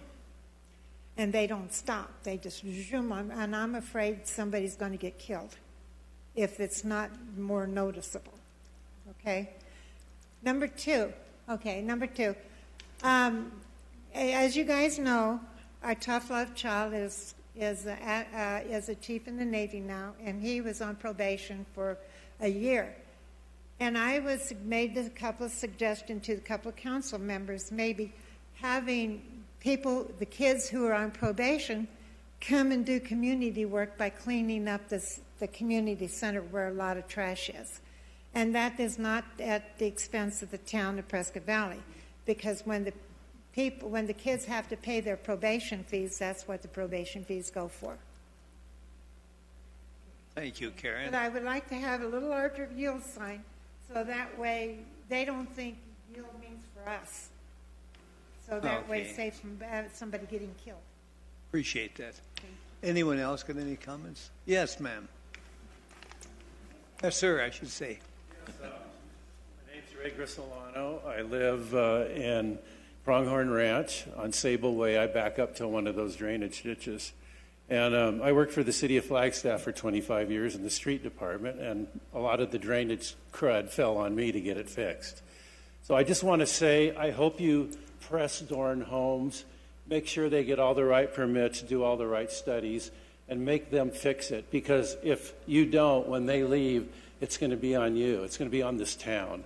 And I don't want to see our taxes raised and uh, the city have to go fix the big mess that they left because I've ran into that in the city of Flagstaff quite a few times. So I, I just hope you really look into this. Uh, you really make sure they do a good job and don't flood out Coyote Springs and make sure this all works perfectly. Thank you. Good, we can take advantage of your experience. Uh, Anyone else?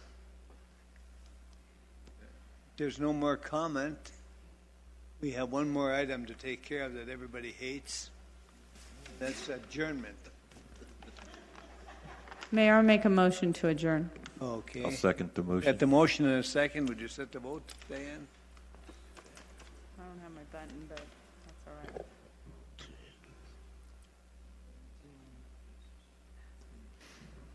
Councilmember Anderson? Yes. Councilmember Rooney? Yes. Thank you. That's unanimous, Mayor, to pass. Diane? Meeting is adjourned. Thank you all for coming. I remember.